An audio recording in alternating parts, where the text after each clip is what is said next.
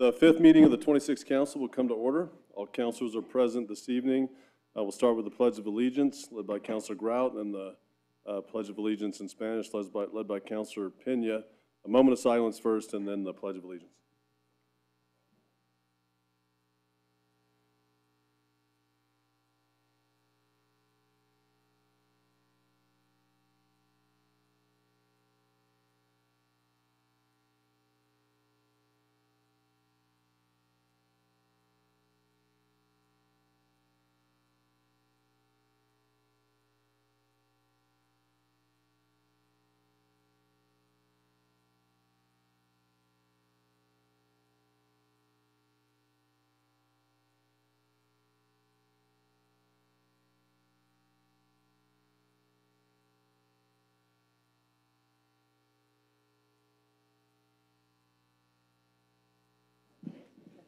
The Civic Plaza passes are provided for members of the public. You can obtain a parking pass from the council staff at the table near the chamber's entrance. Members of the public, city staff, the media have the ability to view this meeting in person, live, live streams through four different platforms on GovTV, on Comcast 16, uh, the GovTV website, YouTube, uh, Zoom Zoom webinar. The live streams can be accessed from most smartphones, tablets, or computers. Also, this meeting is closed captioned, and you can maybe enable the closed captioning services on your television device at this time. The video recording of this and all past council meetings will remain available for viewing at any time on the council's website. Uh, Council staff is available via telephone if members of the public need assistance finding the videos online. Please call 505-768-3100 for assistance during business hours, Monday through Friday, 8 to 5. Council will take a break at approximately 7 PM this evening, if needed. With regard to decorum in the chambers, we want tonight's proceeding to be as civil, respectful as possible. Please do not make any personal attacks. Uh, Please, no applause or outbursts during the meeting. This meeting will go a lot further if we're respectful of, uh, of one another. And uh, we have some other just instructions on decorum, and, uh, and that's available in, in the back, and you're welcome to, uh, to read those. Uh, We're going to start with proclamations and presentations. We have three presentations tonight. The first is um, a presentation of Dr. Michelle Sanchez, Director of Arts and Culture, provide an update regarding Route 66 revitalization. This is Counselor Pena, sorry, sorry, Counselor Pena, I read that. We'll let you introduce them. Thank you, Mr. President. Um, uh, Mr. President, that's fine. Um, Dr. Sanchez, I think she's here somewhere. It doesn't look like maybe she's arrived yet. Yeah, so why don't we move on to Counselor Bassan if you'd like, and we'll defer. She's not here. Okay. Well, let's go on to uh, Counselor Bassan, this presentation of um, uh, National Institute of Flamenco. Mr. President, uh, thank you. It's my honor to uh, have requested the presentation for uh, the National Institute of Flamenco. Tonight, we have Ms. Marisol Encinias. I believe we also have Eva Encinias, Eloy Gonzalez, and the Niños y Tiños Flamencos. So uh, Marisol, I went and toured the facility. I think that, you know, we've worked well, I think, as a city and as the council to make sure that we are collaborating and doing what we can to support many different programs, but this is the one that I think was very beneficial, and I, I thought it could be fun and festive for us to see a little bit of what they do and also hear what the National Institute of Flamenco does beyond just teaching flamenco. So Marisol, welcome. Thank you all. Thank you, President Lewis and members of the city council. We appreciate being invited to be here today. As she said, my, as Councilor Bassan said, my name is Marisol Encinias. I'm the executive director of the National Institute of Flamenco. For nearly a century, my family has practiced and shared flamenco with our community. My mother, Eva Encinias, founded the National Institute of Flamenco in 1982, where we have seen decades of flamenco's power to improve the lives of children and families in Albuquerque. We serve all districts of Albuquerque with excellent flamenco performances and classes. We have expanded outreach offerings across the city.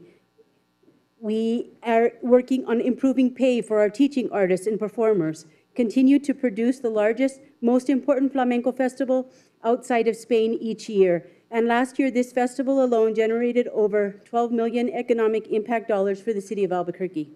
Arts and culture industries account for one in 18 jobs in New Mexico, and we at the National Institute of Flamenco are a major employer in the industry.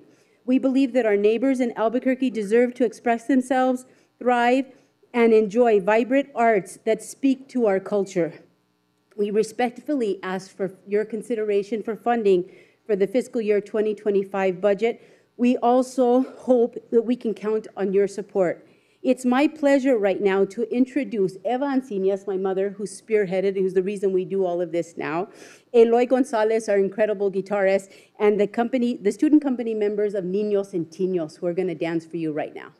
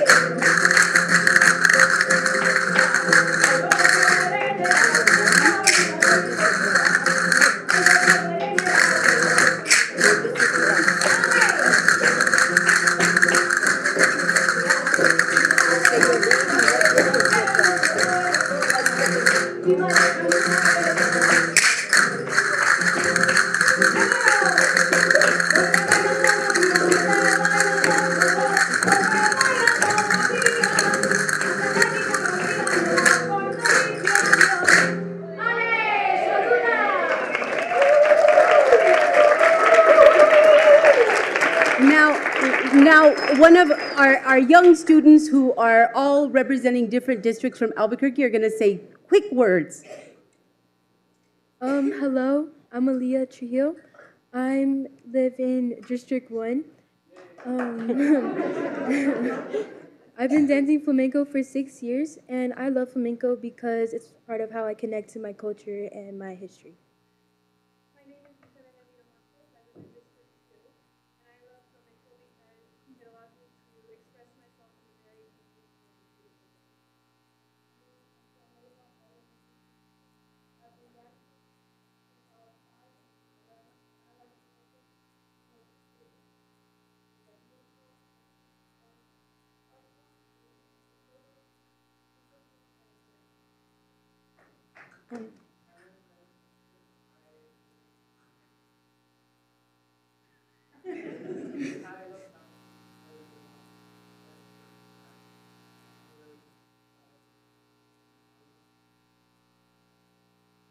Venice lives in District 3. I'm Jaden Grammer, and I live in District 4. I love flamenco because it gave me a second family, and they support me in countless ways, and it's so much more than just dance.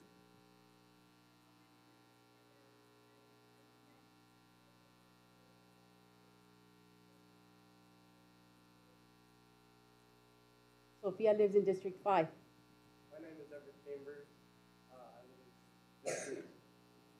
Six. Six. and I've been dancing for music for six years, and I really want to move this. It's not just about dance. It's also about the guitar and the two. And uh, fun how that all mixes together. It's one of one.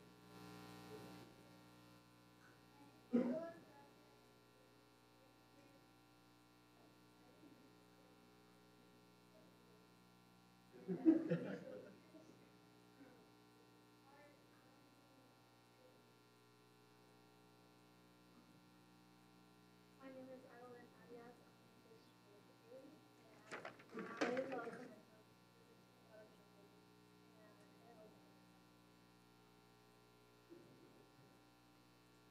And I'm Bianca Mijares. I live in District 9. Um, I'm the Education Programs Manager at the National Institute of Flamenco. I moved here from Miami, Florida to take this position, and um, as you can see, it's very inspiring to see the effect that flamenco has had on the youth of Albuquerque. And again, my name is Marisol Encinias, and I live in District One. And I, and so the National Institute of Flamenco is also our facilities in District One, and we thank you for your consideration and for your time. Thank you. Thank you all so much for being here, Mr. President. I just want to say that this was a great performance, and, and I want to make sure that people understand, and counselors, if you haven't toured with Marisol, please reach out to her, because it is so much more than, uh, honestly, and I don't mean any disrespect, but it's more than just teaching people how to flamenco dance. This institute is so much more, it does so much um, for their creative education and growth as well. So I really appreciate the, the time that we allowed for them to present and for them all coming to be here. Now We'll go to our next presentation by uh, Counselor, or Counselor present, or Counselor Grout is presenting the next presentation. Thank you, Mr. President. At, at this time, we're going to have a presentation uh, from Mr. Eric Garcia. He is the super, Superintendent of Police Reform to provide information about police reform.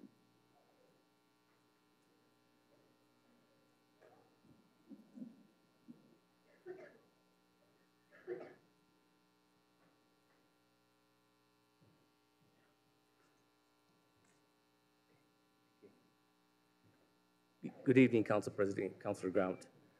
Uh, As stated, I'm Eric Garcia, I'm the Superintendent of Police Reform.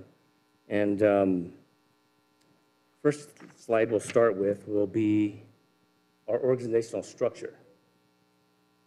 So as you can see, is we are separated from the Chief of Police. So I don't answer to Chief Medina at all, I answer to uh, Mr. Kevin Sourisseau, who's the Chief Financial Officer. Uh, Working for me, I have two majors, Major James Collins and Acting Major Dodi Camacho.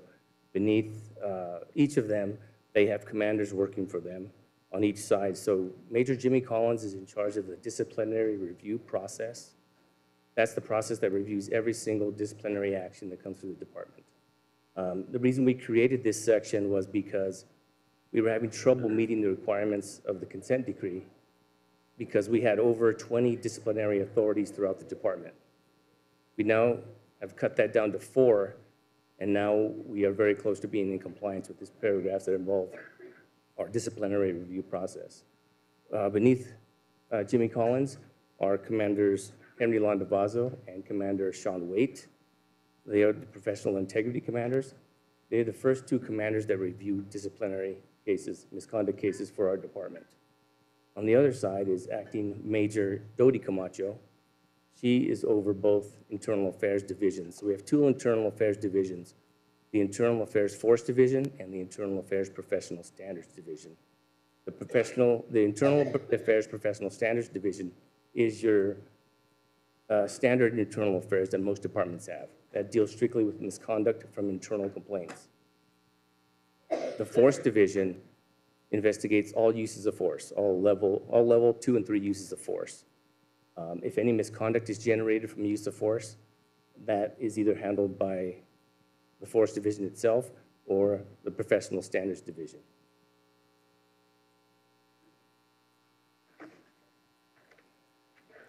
This is a breakdown of each of the two divisions. So we have one commander under the Force Division, four deputy commanders, one lieutenant and five sergeants. Currently, we have a total of 23 investigators. Six are sworn detectives and 17 are civilian investigators. We've actually done really well and, and found our civilian investigators have done a really good job investigating uses of force and misconduct. Um, So it has really helped the department and helped uh, manning levels throughout the rest of the department. Uh, Below the detectives, we have our administrative staff, and uh, our contract employees who help prepare the presentations for the Force Review Board. On the right-hand side, for Internal Affairs Professional Standards, we have one commander who's uh, Acting Commander Ken Johnston. We have one deputy commander, one intake manager, and the intake manager is very critical to the entire process. So whenever possible misconduct is identified in the department, uh, we call it, we, an, an internal affairs request is completed. We call it an IAR. That is generated through the, through the application, the web application, Blue Team. It goes to our intake manager, who's Olivia Mora. She determines, she, she evaluates the blue team entry, determines if it's a violation and where it's going to go for investigation. So an investigation for misconduct could go back to the area command if it's a minor investigation, let's say a class six or seven, which is our lowest. Uh, It could be sent to Internal Affairs Force Division if it came from that division, or it could be investigated by Internal Affairs Professional Standards. So that position is very, very critical. We have one lieutenant, two sergeants, and in professional standards, we have a total of 11 investigators. Uh, Five of them are detectives and six are civilian investigators. And of course, we have our administrative staff. I'm going to explain the intake process a little more in detail now. So when an IAR, the Internal Affairs request, is submitted, it goes to the intake manager, like I said, Olivia Mora. From Olivia, she routes it either to Internal Affairs Professional Standards, Internal Affairs Force Division, or the Area Command for investigation. Once that investigation is completed, uh, a packet called the disciplinary action packet is completed by the appropriate internal affairs. What that does is it lists the violations that are sustained in the investigation, and it lists the possible range of any disciplinary action that might happen. From there, it goes to the Professional Integrity Commander Review. It's a two-level review by each commander. So one commander will review it, either Landavazo or Waite, and then the other one will review it. From there, it goes to Major Collins for review. And if it's, if the disciplinary action is below 40 hours, uh, Major Collins will conduct the predetermination hearing on that case. If there's an appeal from that case, I will handle the appeal. If the disciplinary action is 40 hours or greater, I handle the predetermination hearing on that case. Any appeals from my decision will go to the Personnel Board.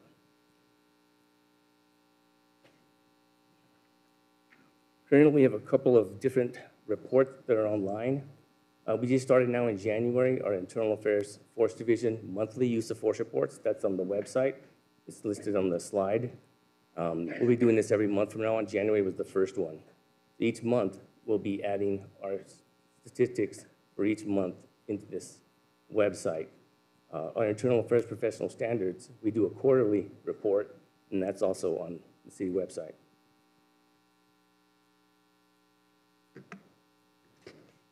That's basically a brief overview. I want to emphasize that the chief of police and I, although we work together, we are separate. So my decisions go answer directly to the mayor's office. Um, and it's made for a reason that way. That way, he can handle the operations of the department, and I handle any disciplinary actions and any internal investigations on any cases that might arise. And with that, I'll stand for any questions. Thank you. This is very interesting. Um, I know that the CPOA is completely different. Do you ever have anything to do with them? Uh, yes, so I review every CPOA case that they investigate. So the CPOA, they handle external complaints, so citizen complaints go into the CPOA. Okay, They conduct an investigation, and I review each one of those.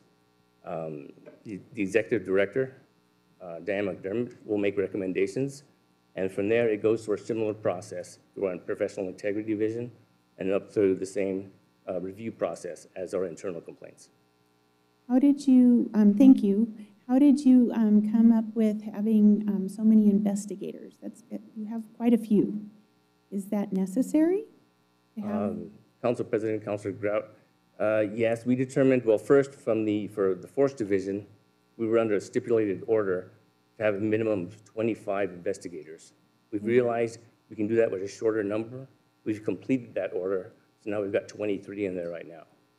Okay. With the professional standards investigators, uh, right now, they are handling probably about 10 to 12 investigations apiece. So due, due to the number of complaints we're getting internally, because of the internal affairs requests, uh, actually, I'm probably gonna need a couple more in the future. Okay, thank you. Um, Are you caught up on all of your complaints? How long does it typically take to um, complete an investigation? So in the investigations, um, we have 120 days to complete an investigation per the contract with the union. Yep. Um, Our investigations are usually completed, completed before then. So right now, we're right on schedule. Also, there's also a timeline for our use of force cases, and that's where that backlog had occurred in the past. But since we've taken over from EFIT, and since EFIT has been here, we have not added any more cases to that backlog. So we are keeping on pace with that unit as well. Good. Um, how, how uh, far out are you on having all of the backlog taken care of? From what I understand, uh, Mr. Nair from EFIT uh, stated we're on pace to be done by May.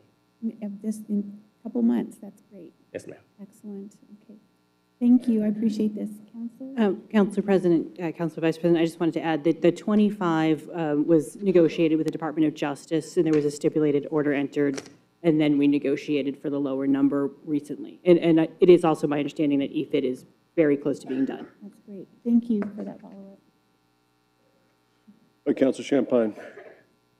Thank you, Mr. President. Uh, Deputy Chief, um, it it shows in your report here that you have 58 total uh, use of forces investigations, level one, two, and three during January of '24.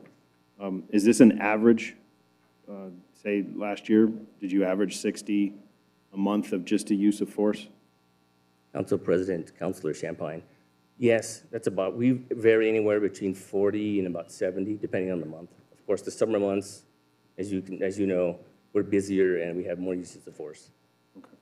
Um, Thank you, Mr. President. Um, Deputy Chief, what's the difference, and this is just kind of clarify, what's the difference between the, the three levels of investigations for the use of force? So a level one use of force is any force that uh, there's no injury to the individual. It can be resisted handcuffing, something of that sort. If there's an injury, that's a level two. Um, Of course, or the complaint of injury, it's a level two. Uh, A level three is uh, serious, it has serious injury, of course, our officer-involved shootings are level threes. Okay. And one last question, Mr. President. Uh, Deputy Chief, compared to the use of force, um, how many does, how many investigations does professional standards have on average a month? You know, Council President, Councilor Champine, uh, are you asking for the number of investigations per detective? Yes. So currently, our professional standards detectives or investigators, they're handling between 10 and 12. Our use of force investigators are handling about five. Okay. Okay. Thank you, Deputy Chief.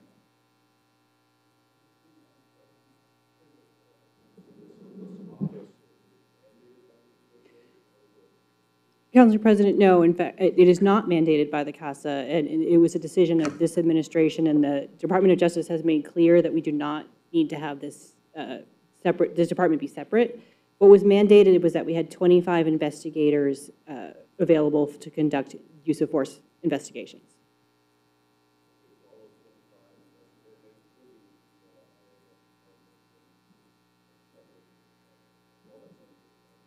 Yes.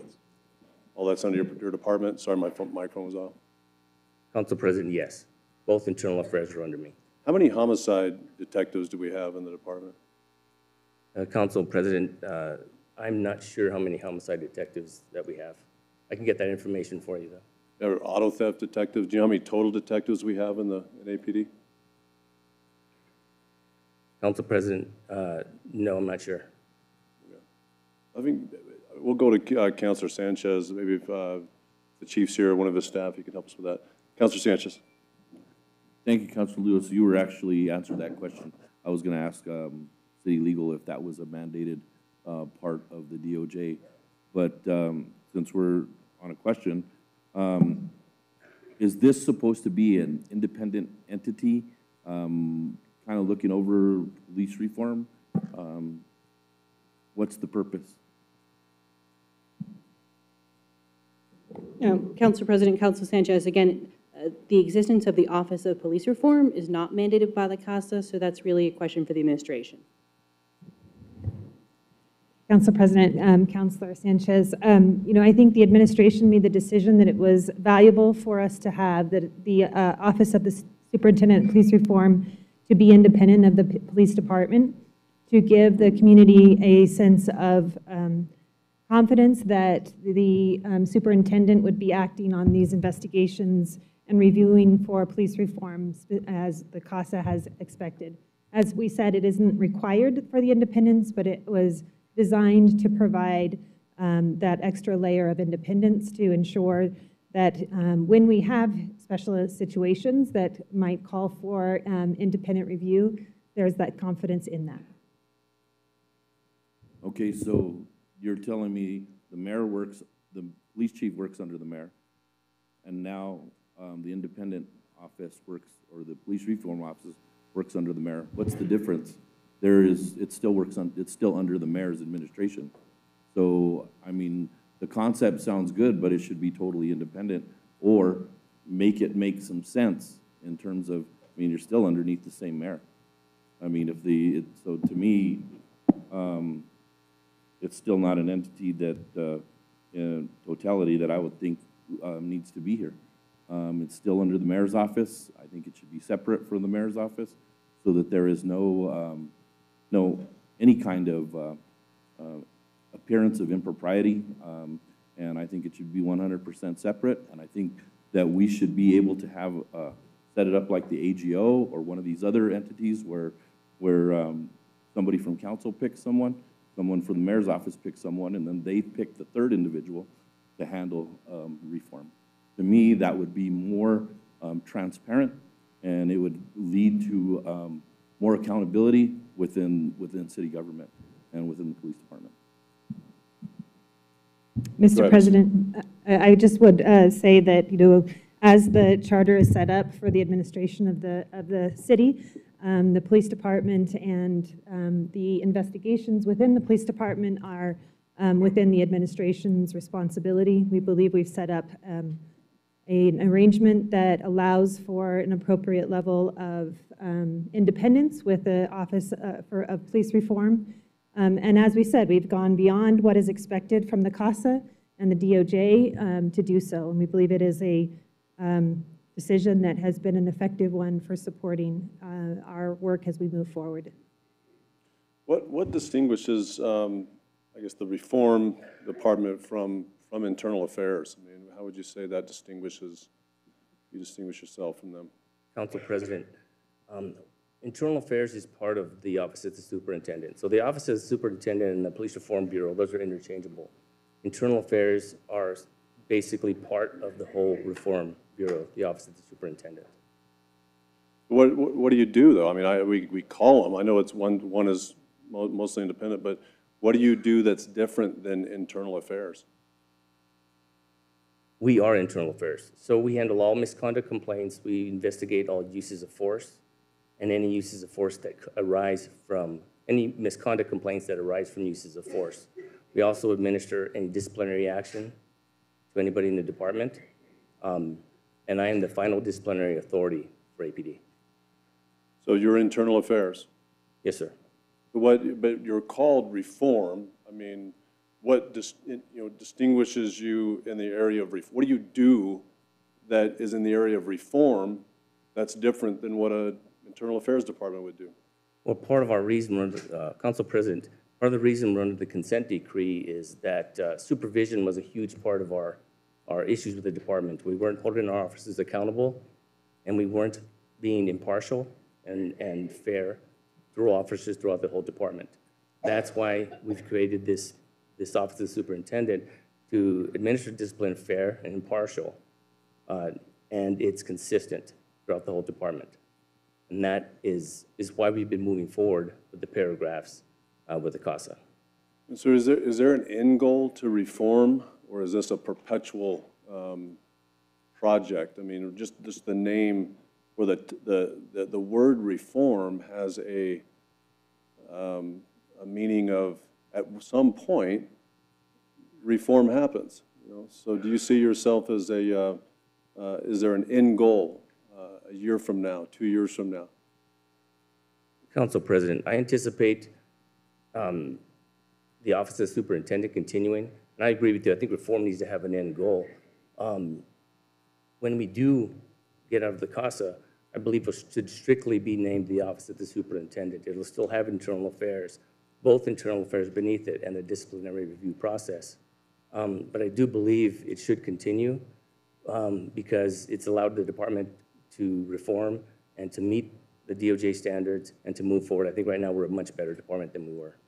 There'll be a point when the DOJ is gone, there'll be a, a point when the, the CASA is gone, Um, But do you see a point where, or a point where the Office of Reform will be done reforming?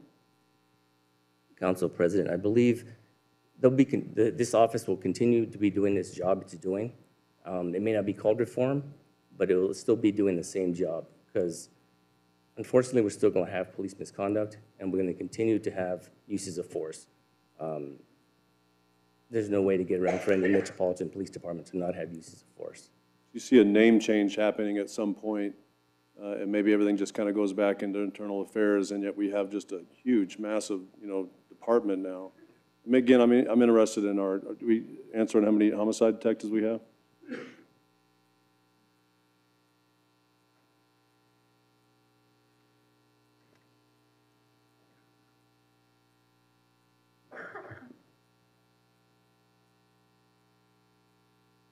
Council President, we have 16 detectives in the homicide unit and two sergeants currently Thanks, sir. How, how many total detectives do you have in the department?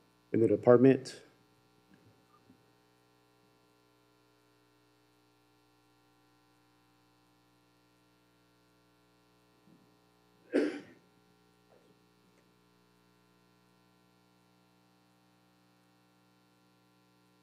I'm trying to do some quick math, sir. No problem. Take your time.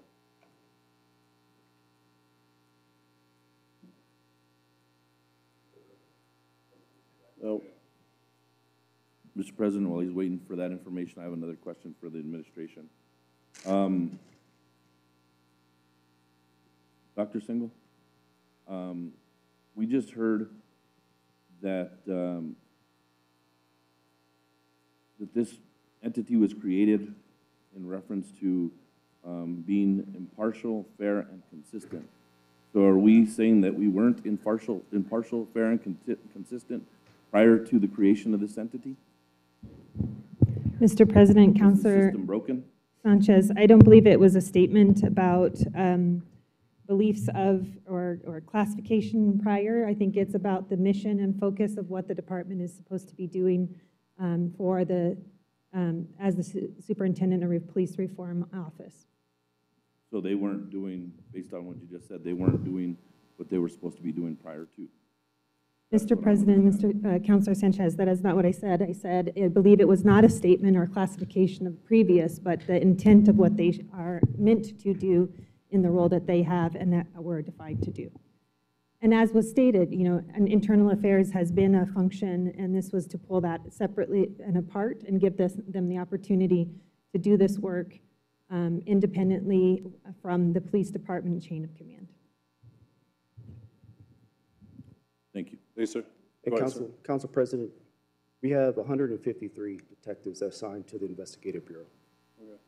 And, uh, and, and those all include what type of, I mean, you It- have it in- 16 homicide, and what, what are some of the general other, It includes, um, on the Criminal Investigation Bureau side, it's going to include homicide, robbery, cold case, missing persons, uh, sex crimes, tr- crimes against children. Um, On the Investigative Service Division, it's going to include our Investigative Service Division, our Gun Violence Suppression Unit, our Gun Violence Reduction Unit, our Narcotics Team, um, our um, our OCU, which is our Organized Crime Unit, our Impact, and our Property Crimes as well. Yeah. you know, about how many in narco- narcotics? Narcotics, there's eight detectives and one sergeant. Okay. And you're, are you, in that total amount, are you including the investigators and? This is not, this is not including professional staff. Like Are for you instance, shorthanded anywhere? Um, we have short, short, I mean, if you're actually like where we should be, um, I think we have done a great job of having professional staff, like you had asked about, uh, auto theft detectives. We have seven and one sergeant, but we also included professional staff to assist with like the bait car operations and, uh, that sort of course. So we've been able to implement professional staff, just like Superintendent Garcia has stated, where we had lack with um, some sworn personnel, we've been able to fill it with prof- professional staff to help assist with that. Would, would you say, though, that you need more investigators? Um, I, I don't, I mean, we would always love more officers on the department, but right now we're functioning, and as you can, heard before, we've been reducing crime, so I think we're at a great place. We could always improve. Your investigators are not, uh, you're not shorthanded anyway, is what you're saying? Your, your investigators are able to handle everything that's coming before them? Yes, sir. You're not shorthanded at all? Yes, sir. You're not gonna need any more money this year for more We would love more investigators? money, we would love more equipment, we would love more officers, I can tell you that. Well, you gotta need them first, right? I mean, you have to make the case that, hey, we need more, op- we need more We- of investigators, course, we right? would always need more Otherwise, we're not gonna give you officers. money for it. Of course, we, it, it- Gotcha. Well, thank you, and- and and Superintendent, thanks for the, thanks for the presentation as well. Appreciate it. I think we might have one more question. Counselor Champine. I'm sorry, just a point of clarification. Um, I didn't, you don't, you don't have a gangs unit anymore? uh, we have a gun violence Is that- uh, okay. suppression unit, that's where. Okay. Yes. In, in Intel? You still have Yes, we Intel? have Intel on our investigative service, um, our electronic support unit, and we have Intel as well. That's some of the units that I, yes, but we do. Oh, okay, I, I didn't hear that, I apologize. And then just one point of clarification for uh, Deputy Chief. Um, When officers are presented with 40 hours or above, or 80 hours of discipline, that goes to you and not to the chief anymore? Council President, Councilor uh, Champine, that's correct. It comes to me. Okay. Thank you, thank you, Mr. President. Councilor Rogers. Thank you, Mr. President. Just a quick question about the current investigation for our chief. Is That's under yours, under the IAPS, the professional side, or not use of force? Uh, Council President, Council Rogers, uh, the incident with the chief involves basically two separate channels. Um, One's the crash, which goes before the crash review board, and the other one goes to internal affairs. That's the one for a possible OBRD, that's the on-body recording device violation that he self-reported. That is coming to internal affairs professional standards. Okay. Thank you. Council Sanchez. Thank you, Mr. President. So, um, do you think that you're going to do a fair and impartial, um, consistent investigation on the police chief, being that he's been your boss for, uh, many years? Council President, Councilor Sanchez. Um, Yes, I do. I believe it will be fair, and I will make, I do not make the final decision on the chief's case. That'll go to the CAO, but I will be the first reviewer of that case. Um, But yes, I do believe it would be fair. Unfortunately, I've had to discipline a couple of other deputy chiefs while being in this position. It's not a very good thing. I don't, I don't like doing that, but it's something that I've had to do. We heard it here. Thank you.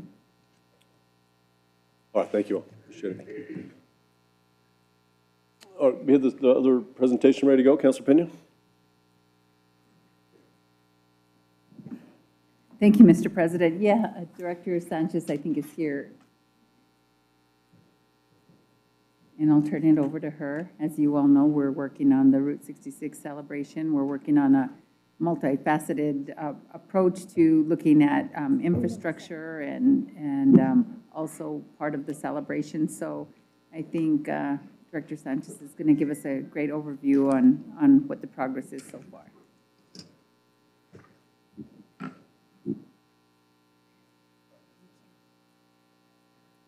Council, Council President Lewis, Councilor Pena, thank you so much for this opportunity. We actually have um, presentation Part A and Part B on the Route 66 Centennial. Um, I also brought uh, Tania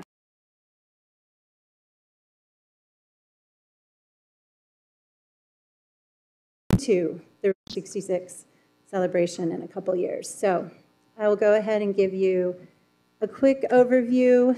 Um, We did send out some uh, information to you via email a couple of weeks ago, and I have most of that reprinted and a little bit updated um, to send home with you tonight in case, you know, you want to read it in real life.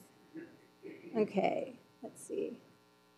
Um, So I think before we get started, just for people that are watching, I know everyone here is very aware of the Route 66 Centennial, but in 2026, the Route 66 um, will turn 100 officially. This is when it was, um, as the federal charter was in November of, um, well, let's see, when was that? 1926. Sorry, how to do the math there. Um, so it'll be turning 100 years old. That's not exactly when it started in um, New Mexico, but Uh, It covers eight states, um, starts in Chicago, ends in um, Santa Monica, I believe, officially.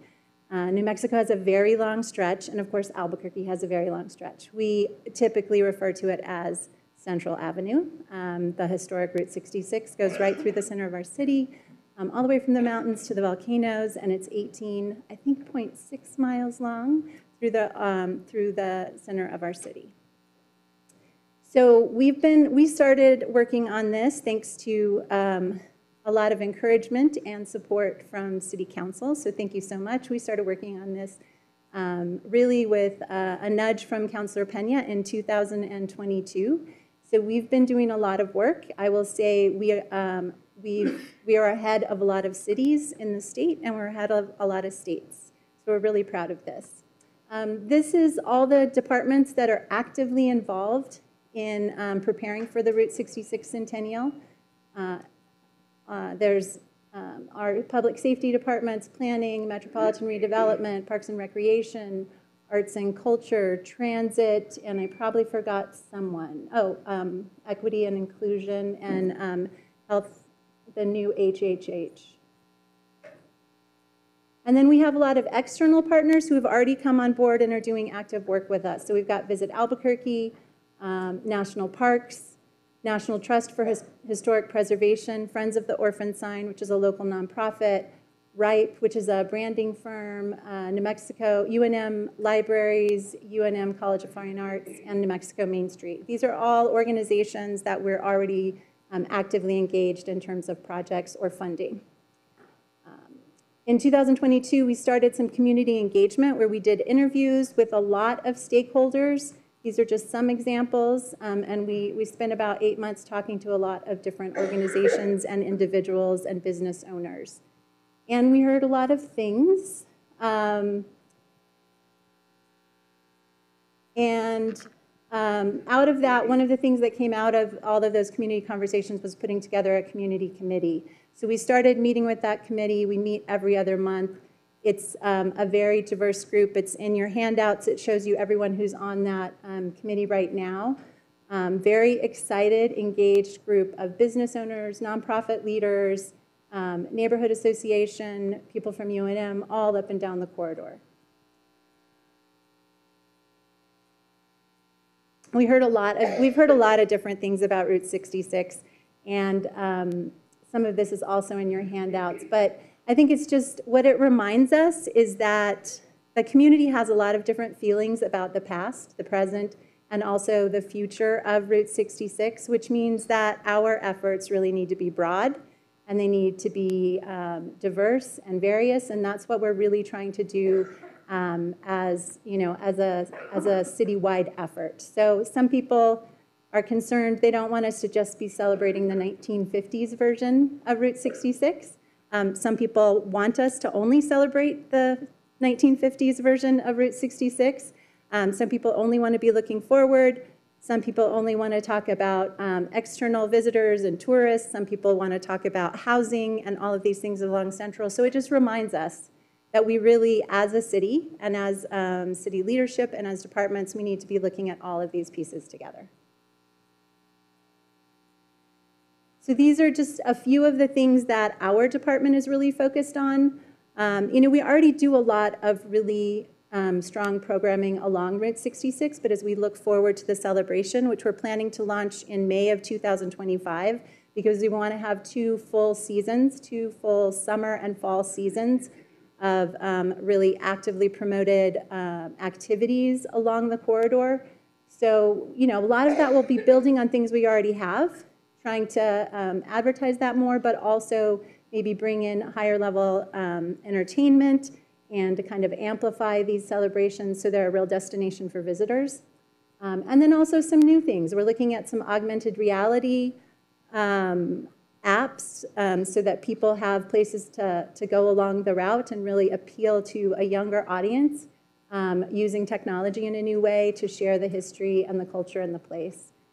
Public art, um, some real good partnerships with other arts and cultural nonprofits and businesses. And I think that's one of the things that we are really invested in. We know this is going to be strong if everyone up and down the corridors is participating. The city itself can't do the level of programming alone that's going to really make this special. So that's why we have our community committee. That's why we're working on ways to really partner with businesses, arts and cultural nonprofits, UNM, all of these other places that are along the route to make sure that a lot is happening in 2025 and 26. Um, we've already started a few historic preservation projects. Um, right now, we're working on a neon, um, like a kind of history of Albuquerque neon. That's funded by the National Park Service. Um, you know, there's an effort to get Central Avenue Bridge designated as a historic landmark. The Transit Department and the Albuquerque Museum, not a typical partnership, are working together on a collaboration. They've already started on that. Uh, and then we're looking at other partnerships like the National Trust for Historic Preservation, which is a national organization, um, to do some work in the International District. And then the Albuquerque Museum is working on an exhibit as well. Um, we've got a lot of corridor improvements going on across all of the departments. Um, the revamp Route 66 sign improvement project, block by block cleaning, the International District Library Park is um, slated to be completed by 2025, late 2025, I believe. Um, and then just a lot of other projects, median improvements, code enforcement and compliance, outdoor fire operations. A lot of things, things are already happening, and they will just continue to strengthen over the next couple years. A lot of this is much more in detail in the written um, report for all of you. Um, this one, I'm just going to spend a couple more minutes on this because this is one of the first projects we started. So this is where we're seeing some first and early success. We did, starting in 2022, again, thanks to early funding from City Council, we, we did a full inventory of signs, historic signs along Route 66. And as a result, um, we really identified some opportunities. We, put, we partnered with MRA and um, took um, a lot of the money that we had and put it into partnerships with um, business and property owners. And so there are about 20 projects that are underway. Um, and one of them is already completed. So this is one of the Imperial sign, the Imperial Motel sign was one of the revamp Route 66 grant recipients, and that project is already completed. And um, the rest of these signs that are listed here, Imperial Inn, Sandia Peak Inn, the Doghouse, always a popular one, Arrive Hotel. All of these are, are underway. Most of them already have their signs designed. And so we'll see all of these going up over the next year and a half to two years. Um, I know that you specifically asked about this last week. So um, Community Safety Department, the Albuquerque Community Safety Department um, has got several initiatives that are really focused on Central Avenue from um, street outreach and coordinating teams to um, a new office along the corridor, engagement with local businesses, and um, outreach and engagement teams. So they've got a pretty significant effort that they've that they're standing up um, along Route 66. Um, both MRA and HHH have development projects that are on this Route 66 corridor. These are all projects that are slated to be completed in the next two years. Um, so I'm going to just go because we've got them in a little bit more detail here. Um, there's Somos at Central. Um, these are MRA housing developments. The 66 at Adams and Central, Nuevo Atrisco at Central and Unser, the Pearl, um, Central near Laguna. These are all projects that are underway and expected to be completed. Um, and HHH also has affordable housing projects um, that are going on along the corridor. So four um, projects that we're expecting to see affordable housing um, in the next two years. And then um, we're working on, um, you know, really promoting Route 66 locally, um, regionally, nationally, and internationally. Um, and I'm not going to go too much into that because we've got Tania Armenta here to talk about what they're doing. So she'll do a much better job. And then in terms of next steps, Um, we are, um, we've got our community committee coming together. These are really ambassadors and also people who are actively engaged and participating along Route 66. We'll have our master Route 66 events calendar. We believe that um, in terms of all the city signature events, that'll be done um, in terms of choosing dates by uh, May of this year, and then we'll start adding other events from the community as we move through the rest of the year. So by the end of the year, we'll have what we consider to be pretty complete. Um, We're working on a, a website that will be hosted by Visit ABQ, um, so that it can be there for a while, and also so we can push it out to visitors and tourists. Um, We're working on our Albuquerque Neon video series, and we're, we continue to engage new partners and look for other funding sources. We have a couple of grants that we'll be writing um, in the next couple months. So in addition to city funding and hopefully partner funding, we'll, we'll hope to bring in some more grant funding as we move forward over the next year and a half. And then we will launch promotions with Visit Albuquerque and others. It is a very fast version of, if you saw the spreadsheet we sent out of um, about 65, we're trying to get to 66 because we think it's um, poetic and we are arts and culture. So we're trying to get to 66 distinct initiatives for Route 66 Centennial. Um, And there are additional PDFs and information on the spreadsheet we sent you. So if you want to dive deep into something, you can do that. Um, I'm also happy to answer questions to the best of my ability on all of this this evening. Um, Counselor, would you like for me to go ahead and have uh, Tania present, or would you like to do questions on this part? Mr. President, yeah, if, if we can have Tania just make a brief presentation? Yeah. Yeah, presentation B. Mr. President, members of the council, uh, happy to be here this evening and to be partnering with the city of Albuquerque in this important initiative.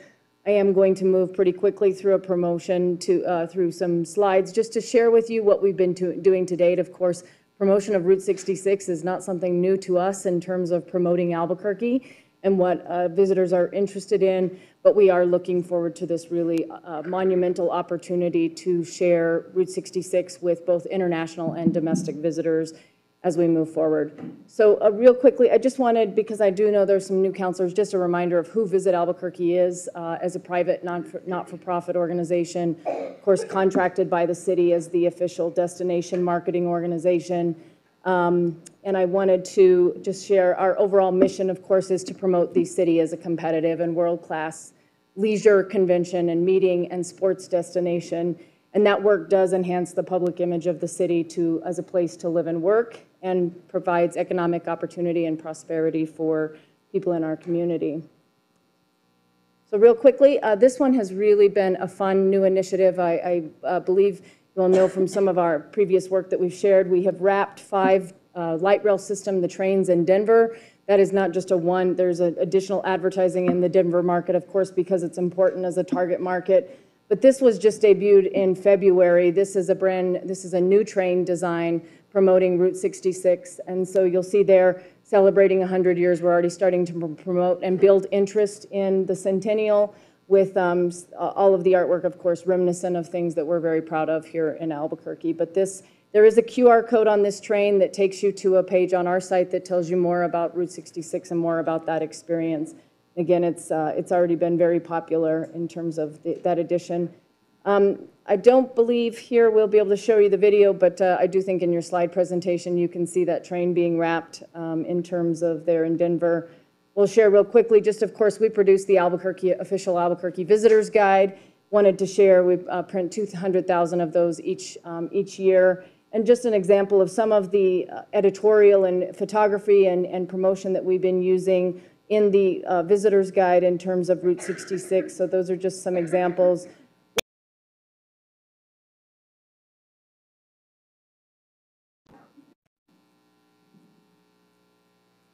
There we go. Uh, Through our website, um, in terms of promotion, and as uh, Dr. Sanchez mentioned, we will be uh, expanding and, and building web, uh, overall microsite dedicated to the Centennial in partnership with the city of Albuquerque. Uh, Again, outdoor advertising is something that, uh, thanks for uh, the opportunity with some supplemental funding to do more of that in, in the recent, in the last two years.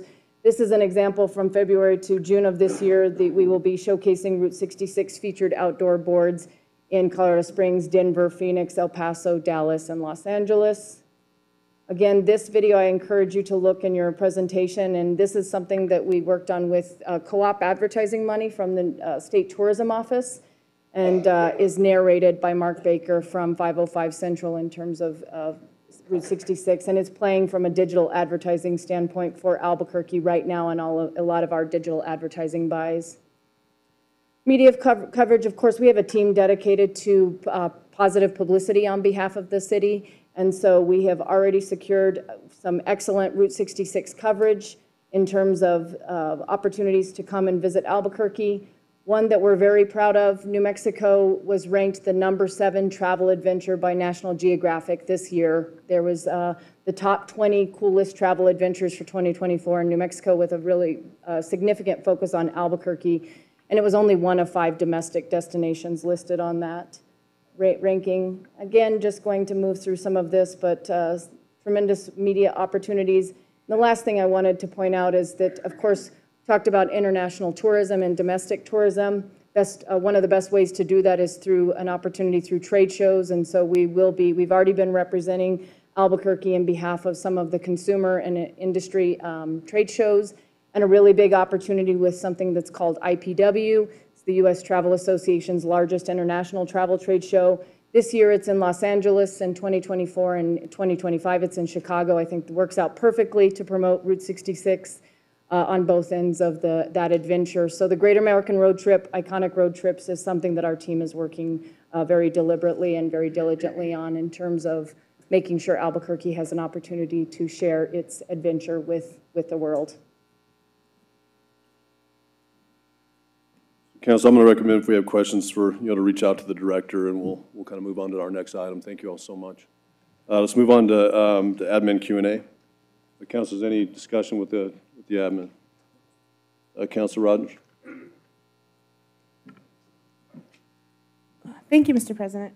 I just have a couple questions um, regarding some items I saw in the news um, what- regarding the Gateway asbestos lawsuits.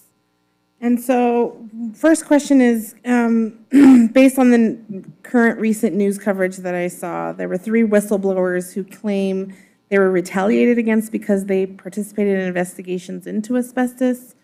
So again, we've talked a lot about not compromising investigations. I understand if you can't answer that and have to do a closed session around that. Um, But the biggest question I have that I've been getting a lot of calls about is what happened to the employee or employees who made the decision to ignore the asbestos warning? Are they still with the city of Albuquerque? Um, Council President, Councilor Rogers, um, I, I really can't get into details of this, um, but I can say we would disagree with that characterization that anyone made a choice to ignore asbestos.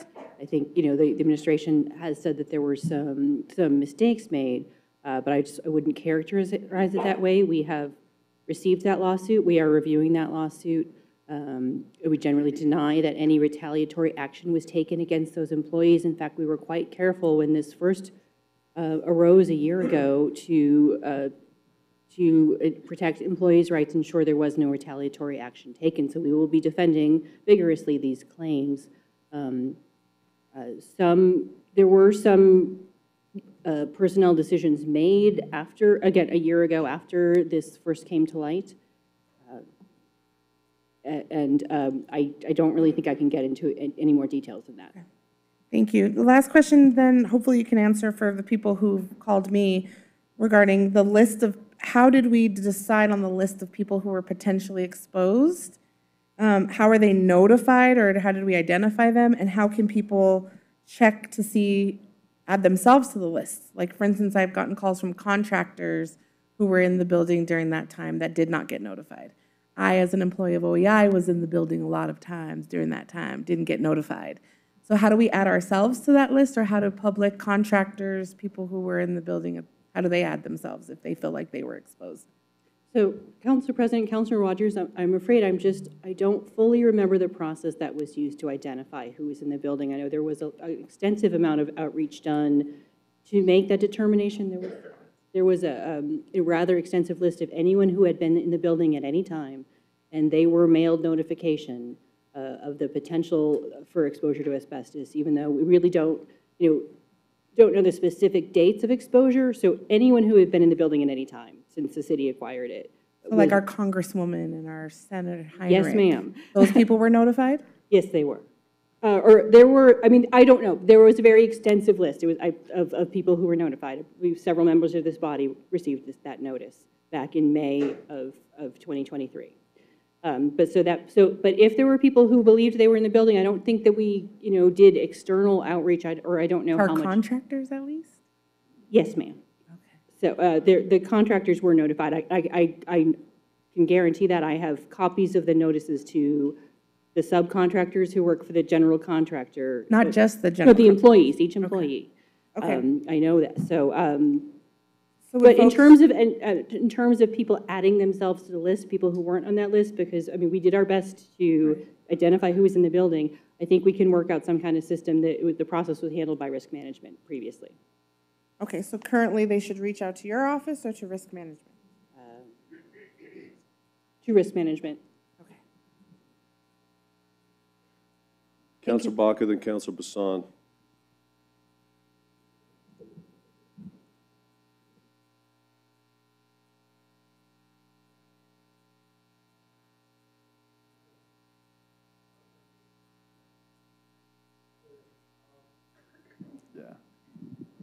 Uh, Mr. Simon. Ms. McRoberts, sorry. I thought we were still talking about that.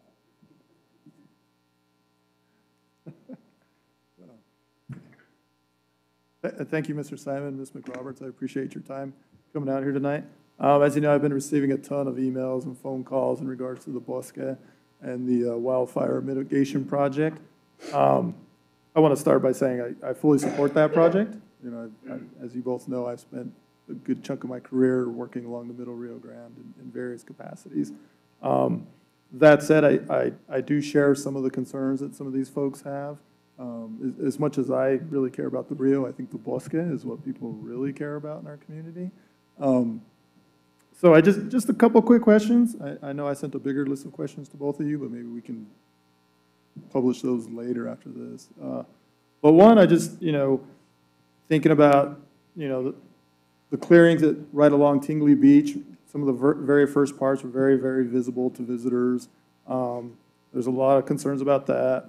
Um, I also traveled down there and I saw that outside of that, especially closer to the Hispanic Cultural Center, it looks like it's a lot more, a lot more care was taken in, in what was, what was done. So I just want to, A, uh, make sure that, you know, from your, from your words, that to ensure that that, that practice of a bit more careful is going to continue. And then B, the, the big part is, is replanting and reseeding. Um, You know, it's, with, with the way the bosque has changed and, and climate change and the loss of the hydrograph, which is real, it's, you know, a, a lot of that native vegetation doesn't, doesn't stick the way it used to. And so um, I think this is an opportunity for folks to uh, not only hear from you what, what the plan is in a little bit more detail, but uh, also ways for them to, to engage and participate in bringing back our bosque. Great. Mr. President, uh, Counselor Baca, thank you so much for your interest in this topic, your deep knowledge of the subject, and, and of course, the, the council's overall interest and support for the open space program. We really appreciate that. As you, as you, many people know, the, the city uh, Parks Department, through the Open Space Division, we manage the Rio Grande Valley State Park uh, through a joint powers agreement with the Middle Rio Grande Conservancy District uh, and through the Rio Grande Valley State Park Act. So it's a, it's a complicated um, multi-jurisdictional partnership approach to managing the bosque, uh, managing the bosque. Um, we were very successful in obtaining a, a FEMA grant through partnership between Albuquerque Fire and Rescue and Parks and Rec Open Space. We obtained this large, nearly $1 million FEMA grant to support a wildfire mitigation project to reduce the severity of catastrophic wildfire, wildfire and support overall ecosystem health, forest health, and uh, significantly try to protect the major infrastructure that is along the bosque, particularly in this area, uh, sensitive and highly used and popular area of the bosque that includes the biopark and the National Hispanic uh, Cultural Center. I want to also thank the council for your support of the project since uh, it was through the approval of council resolution that we were able to move forward on the project and also a contract with uh, Ciudad Soil and Water Conservation District, one of our partners in the project. So I have with me today to help answer the- a couple of your questions, um, Colleen Langen McRoberts, who's our open space superintendent. I'll try to address the, the first question you had, uh, Counselor, about uh, what we call the prescription in the Bosque, or it's sort of the, the guidelines for conducting a forest thinning and fuel reduction project of this nature. So we've completed about 70% of the project. Uh, We, we started uh, in two areas. There's 14 different units, really, for this fuel uh, thinning project. Two of the units we started with, one is close to Tingley Beach, the other close to the um, National Hispanic Cultural Center. And uh, th- those were among the first units to be treated, so we were literally testing the prescription as we went. And as we saw that on the ground, we were able to then adjust our prescription. So uh, what you see sort of in these couple of units that were treated first in the project uh, is uh, not what you'll see, you know, in the other 12 uh, units. Overall, there was, uh, this is about a 470 acre project area, but within that 470 acres, we're only actually treating about 190 acres, or about 40% or so. So, um, you know, we're trying to be careful about how we go about that. I think in one of the areas that uh, you may have uh, noticed, um, you know, we did take out some, some large trees, Siberian elms, which are non-native species, obviously, and that was noticeable, particularly along the, the, the, the bicycle trail near Tingley Beach, whenever you see a large tree come down.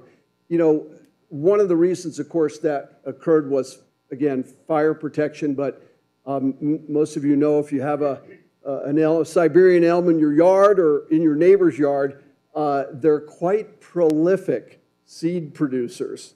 Uh, that and cottonwoods produce these storms, you know, of seeds in the early summer. So when we when we took out, made the decision to take out some of those larger trees, it's really because we don't want to have the area reseeded again with non-native Siberian elms. Um, but we've adjusted our prescription in the other units, so we're preserving a few more like stems, you know, uh, trees, mostly native species in those areas. So uh, th- that's why units, unit five and one of the other units looks a little bit different. But we've adapted, we're moving forward with as sensitive a prescription as we can in the other units. Um, With the focus again on reducing and eliminating non-native species as they tend to make the bosque more fire-prone. And of course, a major disturbance such as a wildfire is a very, very ba- bad thing for wildlife uh, habitat also in the bosque. A major disturbance like that sets the bosque back, and it's almost impossible to recover except over a long period of time to recover the native species. So, uh, and recovery really and restoration is uh, the goal in addition to the wildfire uh, threat reduction. And to talk about the plans for restoration, I- I'd like to have uh, Superintendent Langen address that for you. So, Mr. Baca, this is, or Counselor Baca, mm-hmm. this is fine. I know he- Counselor has other mm-hmm. questions. Mm-hmm. We've already had about an hour of presentations tonight, and this has already turned into about another 10-minute presentation. I mean, Do you have some So I think we questions? just had one question, which we can address as the restoration Okay, question. all right, thank you. President thank you for the opportunity to just provide some additional context. I'll make it brief. Um, I do want to explain that at this point, we only have about two more weeks max while we're just doing the rest of the tree felling. And then the work that you're going to see is uh, just removing the downed wood and the mulch. And that will be completed before the migratory bird nesting season. That's been one of the reasons we've been um, speeding up this project is to meet the grant deadline as well as the migratory bird nesting season to limit our impact. We've been working with four crews doing this work simultaneously, so I know it's been a lot all at once. Um, our next phase is going to be developing a short and long-term restoration action plan. The short-term plan is already completed pretty much, and that is looking at a six-month time frame from February to August. And then the long-term plan will be more of a two-year time frame. So during that short-term plan, we'll be doing things like closing off uh, social trails that were created from the equipment, getting our ancestral lands crew out there to reestablish the trails. We'll be doing a number of plantings, um, you know, some pole plantings where we're close to the water table, utilizing some tall pots. Um, looking at how to incorporate ollas for water availability for more drought-resistant species on the higher slopes. And, um, and then we're working with a great group of people to develop a long-term plan, a committee that will help to provide input, including the Bird Alliance, the Bosque Ecosystem Monitoring Program, Interstate Stream Commission. Many partners are at the table with us in developing the long-term plan. We'll be making those available to the public on the website that we have for the current project. And there's going to be plenty of volunteer opportunities. We've already been employing volunteers during this regular time. We do pole plantings. We have a couple of projects in this area um, with youth crews and community members. Um, In addition to that, we'll have some big events coming up, one in May that's going to be more education focused, followed by a one later in May for our National River Cleanup. So lots of opportunities for the for the public to learn more and to volunteer, and um, we'll make all of that information available to the public. Thank you. You send all that to me so I can share it out. And uh, the other questions I had lined up, I can, I can share those out later. So I, I appreciate your time. Thank you. Uh, Appreciate the, the time, Mr. President. I think the, uh, the Bosque is one of those jewels, unique jewels that we have here in, in Albuquerque. I mean, it's, I think people don't realize just how different it is to have a living river running through your city, whereas most cities just have canals running through. So thank you for your It time. I is, it appreciate is changing, so we're trying to change with it, but Uh, Counselor thank you very much. Counselor Champine. Uh, Mr. President, my question is for the administration on some other topic. Okay? Thank you. Okay. Uh, I, a couple weeks ago, I wasn't present in person, and I meant to ask this question, and then I want to make sure to circle back.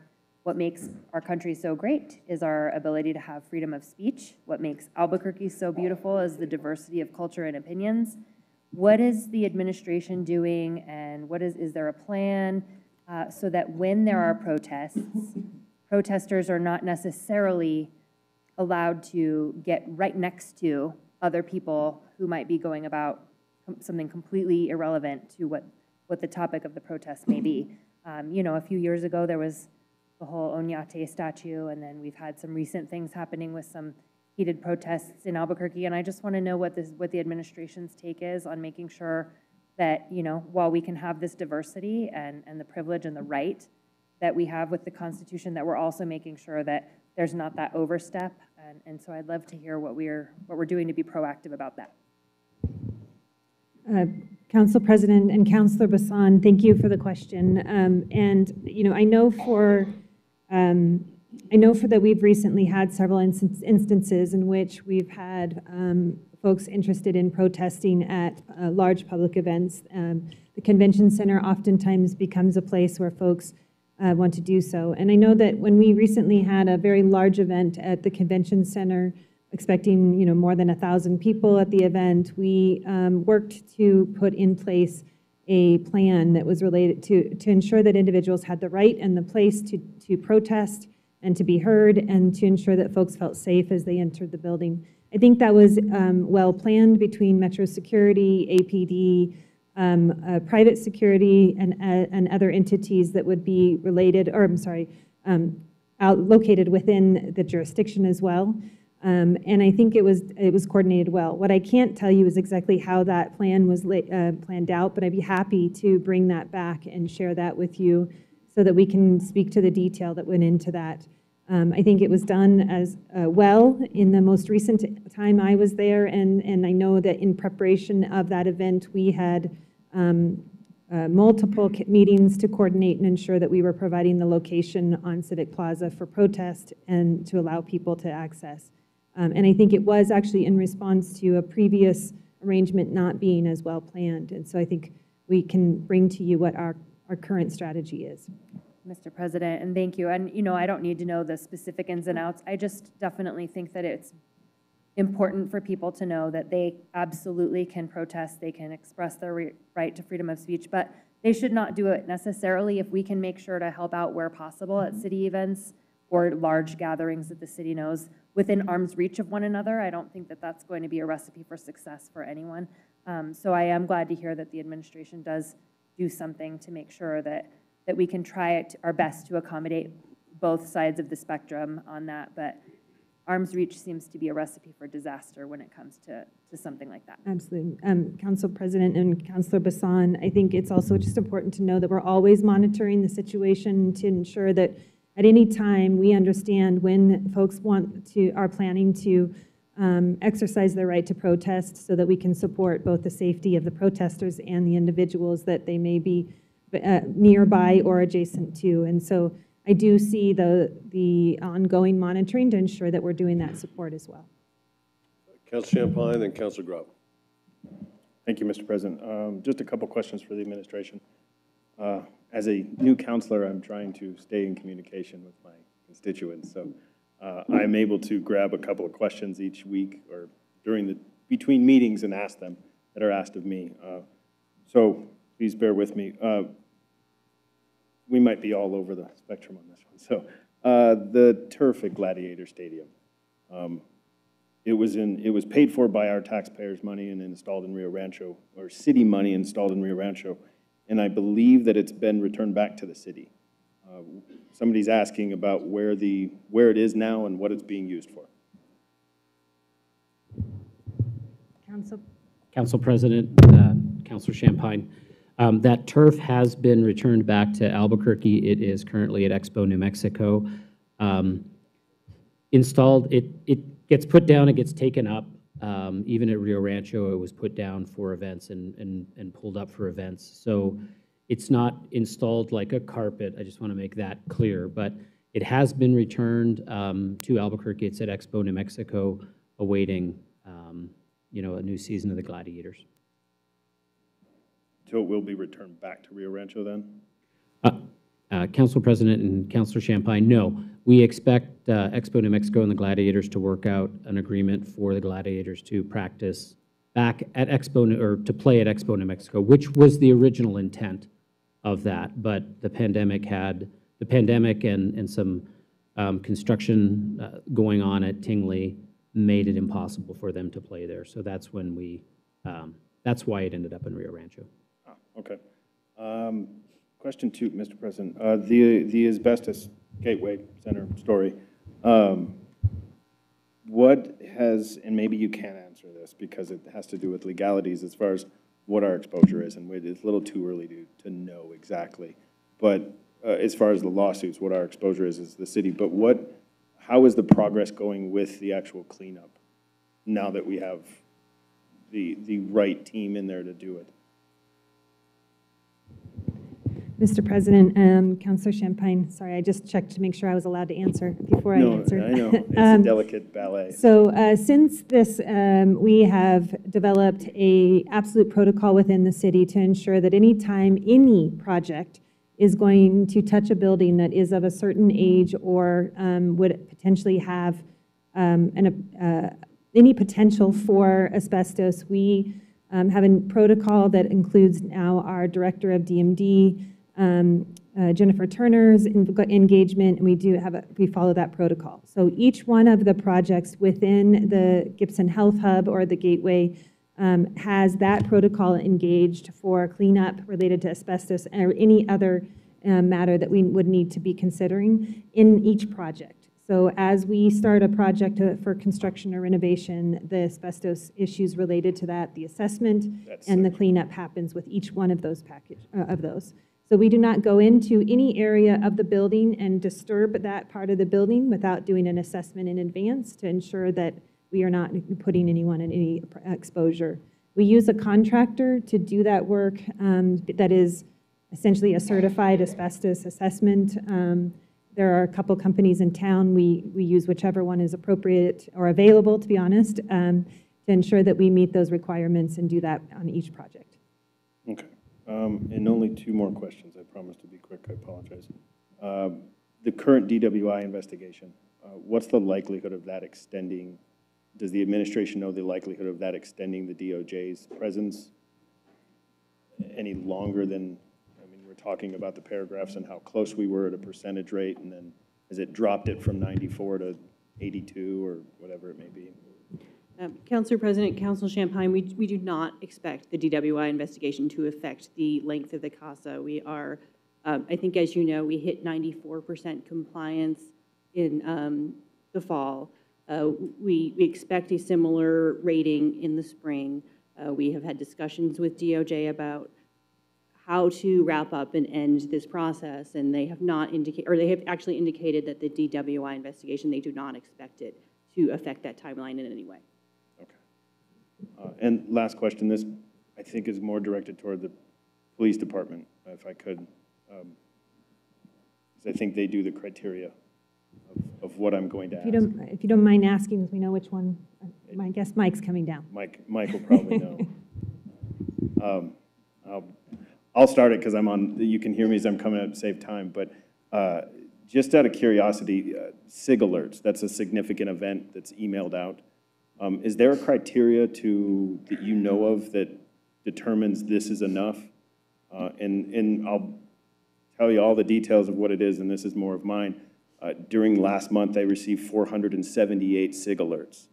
Um, during which I read, I started trying to keep up with them and read them uh, and paying attention to the ones involved in my district. But then reading the notes, it's, it's, you know, subject was stopped and uh, found to have a warrant or, you know, arrested without incident, and that's a SIG alert that I get.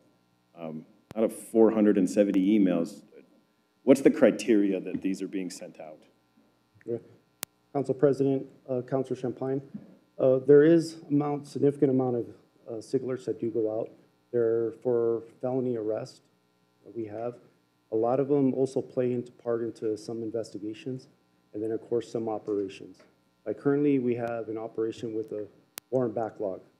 So I have instructed to have any felony warrant arrest to be documented so that I can keep track of all of those individuals on the, that we're arresting on a daily basis. So it's more of a tracking purposes. Um, but yes, they are significant and they do take a long time. As you know, years ago, um, we had about the same amount. You know, when we started making a large push for a lot of arrest, we wanted to document those because a lot of times that communications between divisions, if the field arrests someone and they advise, they find out that there's officers, field officers that arrested their target. So now they're in communications of, okay, now I need to interview them, what information, that sort of thing. So it's a lot of, uh, has to do with a lot of communication throughout the divisions and officers. Okay, Okay, yeah, like I said, when just reading the details, I'm like, without significant. I, I read them I'm too, so there's a lot. Okay, so, okay, thank you, thank you, thank you, Mr. President. Counselor Grout, I'm going to go on to, on onto the journal. Thank you, Mr. President. I have a couple of questions um, for the administration. Um, How many vacancies do we have? Um, You know, city's always looking for employees. How many vacancies do we have throughout the city? Mr. President, Counselor Grout, um, I don't know the answer to that. We have a significant number of vacancies um, in the city right now, um, in the hundreds. Okay. Do we use a staffing company? Uh, Mr. President, us? Counselor uh, Grout, we do use um, the support from staffing companies as well as recruiters when, when necessary, when we're having significant issues. We also use other strategies for recruitment and work with our partners throughout the city, um, actually without the, throughout the region, to work to hold hiring events. Thank you. Um, When was the last time we did have a, a staffing company on contract to help us find? Um, Council President, uh, Councilor Grout, um, Kevin, our CFO, just um, uh, answered for me, thank you. But we do have um, uh, staffing agencies on contract now. We do? Okay, good. I, because, I was, um, asking around because we do have a lot of vacancies. And like you said, they're in the hundreds. And, um, sometimes it, it seems like a, it takes a long time to get a lot of things done. And the excuse I hear often is, we don't have enough staff. So, um, I'm wondering, I know that staffing companies are successful in finding recruiting for us. And in years past, we have had people on staff, or, you know, on, on contract. And I'd really like to encourage us to look at that again, because we need to get, I don't like hearing the excuse, well, I don't have, we're not staffed enough. I don't think that's a good excuse. So I would encourage you all to do that. The- the- my next couple of questions, they have to do with Los Altos Park. I've had a lot of people reach out and ask, when can we use Los Altos Park again? It's always closed. So can you answer that for me? Uh, Coun- uh, Mr. President, Counselor uh, Grout, I'd like to invite Dave Simon to come up. I think he can give you all the exact information about Los Altos. I could re- paraphrase, but he will be exact for Yes. you. Thank you. Uh, Mr. President, Councilor Grout, we're very excited to be looking toward the sort of reopening of Los Altos Park here in March. You know, it'll be- commence the standard softball season, uh, which begins in March with the spring league. So right now, we've been allowing the field and the park mostly to rest and set, grow in, and, and protect the big investment we have made. And once we move back into full softball season, the park is going to be open a lot more. Um, So we're very excited about the Thank you. year coming. Um, Meaning that people can just go by and find a tree and sit underneath Yeah, it? when the park is open, the park will be, you know, fully open. We're, of course, we're going to manage Los Altos Park, Counselor, differently than it used to be. We want to make sure we protect our investment there. So we will have periods of time when the park will be open and periods of time when it can be closed. And that is a great benefit to us um, when we can say, uh, when the park is open, come on in, and when it's closed, we would prefer you use another park. Yes. Uh, But we'll be, you know, moving forward with a very, very busy s- season, starting uh, just as soon as softball resumes here in a few Thank short you. weeks. Thank you. I know a lot of people will be excited about that. Um, Then my final ca- couple questions have to do with the tournaments that are at um, the, the park. I understand that there are softball or softball and baseball tournaments, and I, I don't know, you know, all of that. But um, there are fees that are, are um, associated with these tournaments. So my question is, the fees that are, um, that are incurred, do, does, does that income go into the general fund or does it go back into the parks fund? Uh, Mr. President, Counselor Grout, uh, Los Altos Park is principally a softball facility, not a baseball facility. Thank you. Uh, We have another great facility for that, uh, which is out on the, on the west side. Um, The fees that uh, accompany tournament use of the park would return to the general fund. Is there, a- a- thank you. Is there a reason why it goes into the general fund and not back into parks? It's, uh, Kevin, you want to take that one, or it's more common practice? Yes, uh, Council President and and Councilor Grout, um, as you know, we come before you every year for appropriations. Everything has to be appropriated, so whether it went into parks or whether it went back to general fund, we come back to you for every penny of revenue. Ev- Everything that we bring in, we come back to you for an appropriation to expend. So it's really six of one or half a dozen of another. That money goes into the general fund, and it, we request appropriations back out, so. Thank you. So, thank you. And for, so that follow-up um, to that then, um, might have to explain it a little bit to me.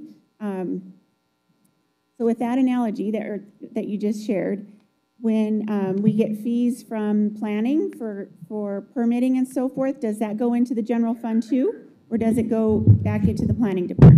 Uh, Council President, Councilor Grout, um, you will see during our budget process this year um, that that money does go to the general fund. Okay. And then we ask for it to be be reappropriated. And we, we educate council, we're happy to educate council. We educate our directors all the time. Just because you're bringing revenue in doesn't mean that you can spend it. We have to bring it back to this body Okay. to appropriate it. So do we, keep- do we track the funds that go, that are being um, brought in, that income brought in from parks? Is that all light, i- light items? Council President, Councilor Grout, absolutely. We have revenue accounts, we track revenue, we have expenditure accounts, we uh, track expenditures, and we've got a fair amount of detail. Very good. Thank you. Appreciate that. Thank you all.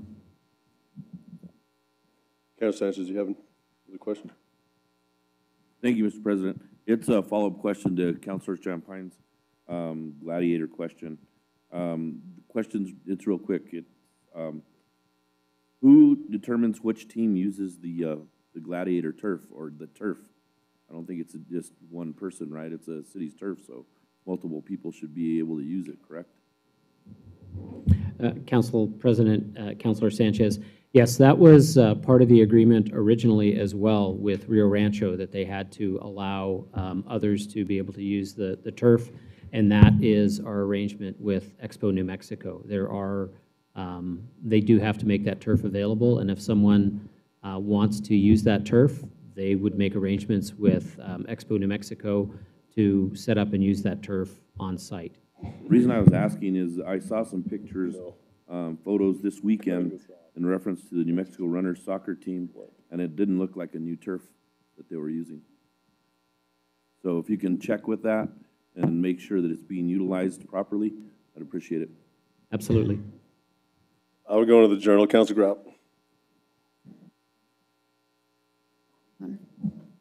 I move approval of the journal. Uh, There's a motion and a second by Counselor Bassan. Those, those in favor say yes and raise your hand. Those Yes. opposed, no. Motion passes. Item six is communication and introductions. Uh, Any changes to the letter of introduction? I move that the rules be suspended for the purpose of placing EC 66 on tonight's agenda for final action. EC 66, approval of the risk second, the risk second supplemental agreement to add funds for outside counsel legal services between Holland and Hart uh, LLP and the city of Albuquerque. Need two-thirds vote. So, uh, Second? been motioned and seconded by Counselor Grout. Any discussion? Uh, Those in favor say yes, raise your hand. Those opposed, no. Motion passes.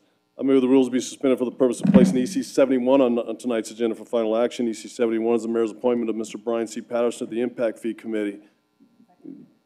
Uh, Been a motion, been seconded by Counselor Bassan. Uh, Those in favor say yes, raise your hand. Yes. Those opposed, no. Motion passes. Counselor Sanchez. Move that tonight's rules be suspended for the purpose of placing R twenty-three on tonight's agenda for action. R twenty-three is amending the official list of city council meetings from January twenty twenty-four through December twenty twenty-four. Second? Moved and seconded by Councilor Grout. Uh, Counselors, any discussion? Uh, The motion is made and seconded. Those in favor say yes, raise your hand.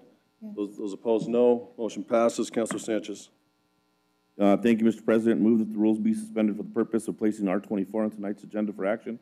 R twenty-four is directing the city administration to request a multi-agency investigation into the February seventeenth, twenty twenty-four incident involving Chief Police Harold Medina. That's been moved and seconded by Counselor Champine. Counselors, any any questions, discussion? Uh, Those in favor, raise your hand and say yes. Yes. Those opposed, no. Motion passes. All right. Mr. President, I move approval of the letter of introduction. Second. The motion is seconded by Counselor uh, Rogers. Uh, And uh, so it's the approval of the letter, uh, it's been moved and seconded. Those in favor say yes, raise your hand. Those opposed, no. Motion passes. Uh, We're going to go to uh, no reports of committees. We'll go to deferrals and withdrawals. Counselors, any any deferrals or withdraw- withdrawals at this time? Uh, There are none. We're going to go on to the consent agenda. Any changes to the consent agenda? Uh, So for the individuals on tonight's consent agenda who are being appointed to serve on a board or commission, we want to thank you for your willingness to serve.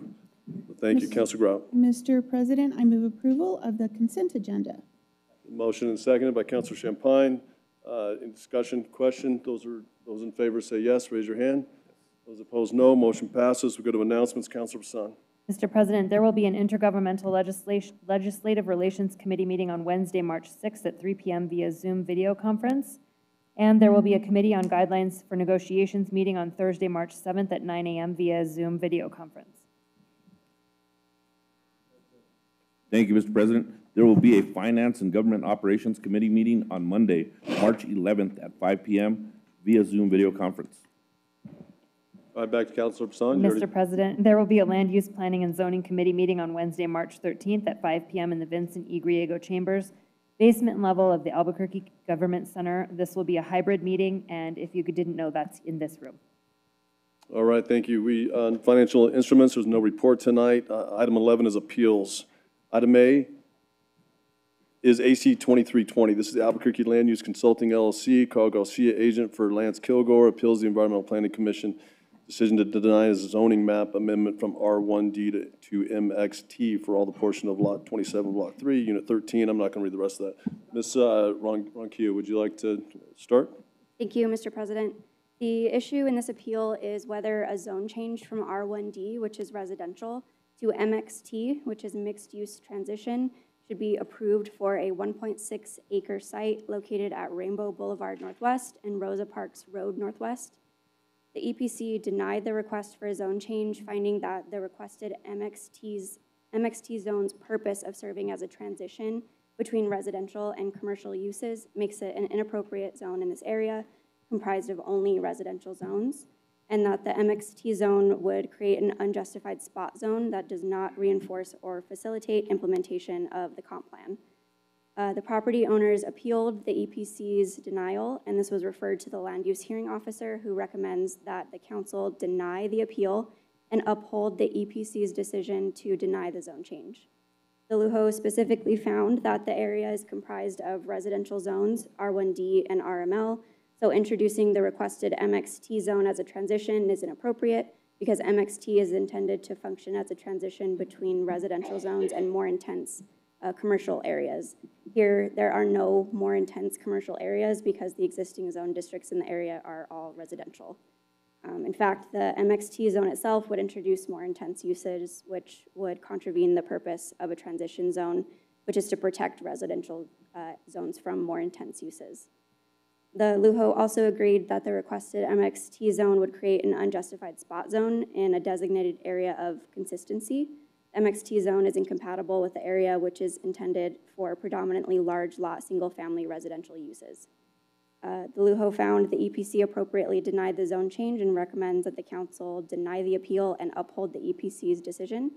And this is an accept or reject proceeding tonight, so we won't hear from any of the parties, but I'll do my best to answer any questions that you may have. Um, As a reminder, your options tonight are to accept the LUHO's recommendation and findings, accept the recommendation but adopt different findings, or reject the LUHO recommendation and findings, in which case the council will hold a full hearing on this matter at our next meeting. All right, counselors, um, uh, any um, uh, questions for our staff or discussion or recommendations? Council Bassan. Mr. President, I would like to uh, make a motion to accept the LUHO recommendation and findings. Uh, So that's been moved and seconded by uh, Counselor Bassan, uh, seconded by Counselor Grout. I guess one question, um, are we, um, is it in the record, I wasn't sure if clearly in the record as far as uh, the intended use, uh, specific use of the property?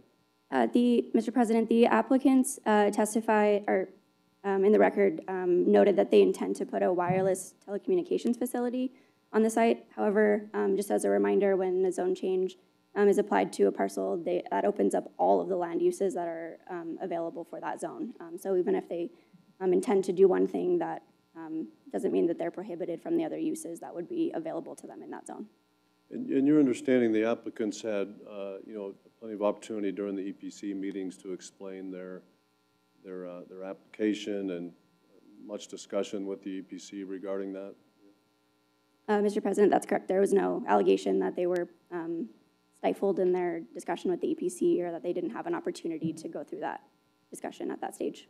Right, I mean, and my tendency would be to, you know, maybe recommend a, a full hearing on this, but I think because of that, I think the parties had plenty of opportunity to be able to explain their case and uh, much deliberation of the uh, EPC. Um, You know, I think I'll, um, agree with the recommendation. So, councilors, any other uh, discussion or any other recommendations? All right, the, uh, the, the motion to accept the LUHO recommendation as finding, and findings has been moved and seconded. Uh, All those in favor say yes and raise your hand. Yes. Those opposed, no. Uh, That motion passes. We're Going to go down to general public comments. Members of the public can provide live public comments to the council in person or virtually if they've signed up for public comment with the instructions published on the agenda on our website on Fridays. Uh, Here's the public comment ground rules. Each participant has two minutes to present. Comments are to be addressed to the councilors only uh, through the co- council president. Any disruptive conduct will result in removal from the meeting. Uh, There's a two-minute time limit. Bell's going to ring to indicate your time is up. Mr. Cornelius, if you'd call the first speaker. Thank you, Mr. President. Our first speaker is Francesco Artist, followed by Tyler Richter.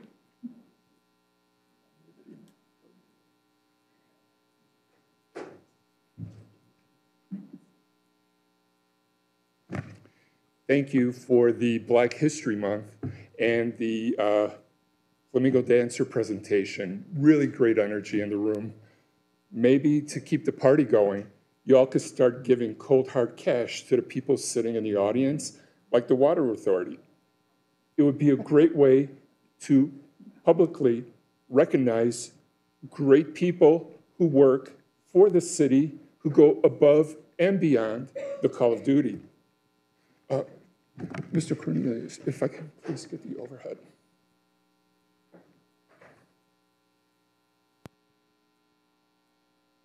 Thank you, sir. Speaking of above and beyond, while we're standing in this chamber, we can't talk about Albuquerque. We can't talk about Black history and not say the word Nicole Rogers. It is such an honor to be standing before this city council, the first in American history of our beautiful city to have to have the first African American woman to be elected to City Council, the governing body of Albuquerque. It is a pleasure to stand before you, Councilor Rogers, and to say thank you for your willingness to serve. Thank you.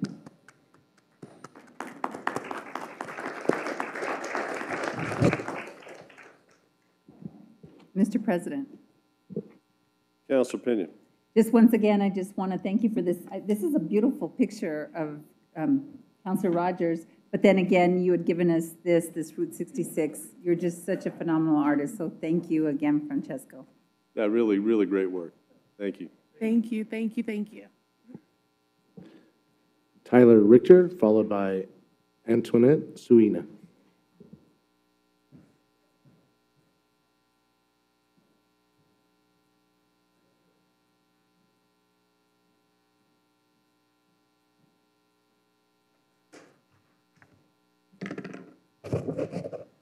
Evening, councilors. Uh, My name is Tyler Richter. I am here as a resident of District 7 in the Pueblo Alto neighborhood. Um, I serve my community in a couple of ways. I'm the president of the Pueblo Alto Neighborhood Association. I'm also the co-chair of our Southeast Policing Council, um, Community Policing Council. Um, Tonight, I'm here to speak in favor of Bill 024-1. Um, I guess the order got messed up. Some of my neighbors are going to speak to you uh, more specifically about uh, one home in our neighborhood that has uh, been a nuisance property. Um, I believe that O- the Bill 024-1 will allow um, the residents of Albuquerque to um, aid in the, uh, the, the the moving of nuisance properties from nuisance properties to for sale lots. Um, Let's see. As the president of Pueblo Alto and, uh, and my neighborhood, I currently have a uh, uninhabited home across the street from my house. It's been uninhabited for 20 years. There's been much, much uh, outreach to the homeowners and the banks that own the home. Um, It is currently attracting um, uh, un- uh, unhoused uh, attentions, and it recently been tagged by the city of Albuquerque. But for homes to take 20 years to be demolished and, and taken um, out of a nuisance situation is entirely too long. And so I speak in favor of Bill 024-1. Thank you. Antoinette Suina, followed by Ariana Suina.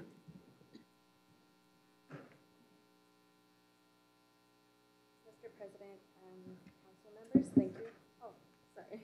I'm shorter, so I thought, um, thank you for allowing us to be here today to speak. Um, my daughter and I are here today because we want to bring to your attention an accident caused by an APD officer on April 17, 2017. We were making a left-hand turn through the intersection when he T-boned the back of my car where my kids were seated. This was during quitting time traffic as the officer traveled 80 miles an hour in a 40-mile zone, killing my six-year-old son and critically injuring my daughter, who was nine at the time. She stands here with me today. We spent that month in the hospital as she laid fractured from head to toe with a traumatic brain injury. The officer who hit us had six prior accidents, ours being his seventh. Not only was he called off the call, but he chose to dispatch himself out to the call, to a call that was already resolved. In light of the latest car crash incident, it is concerning whether the driving simulator that we donated to the city of Albuquerque and APD is even being utilized for training.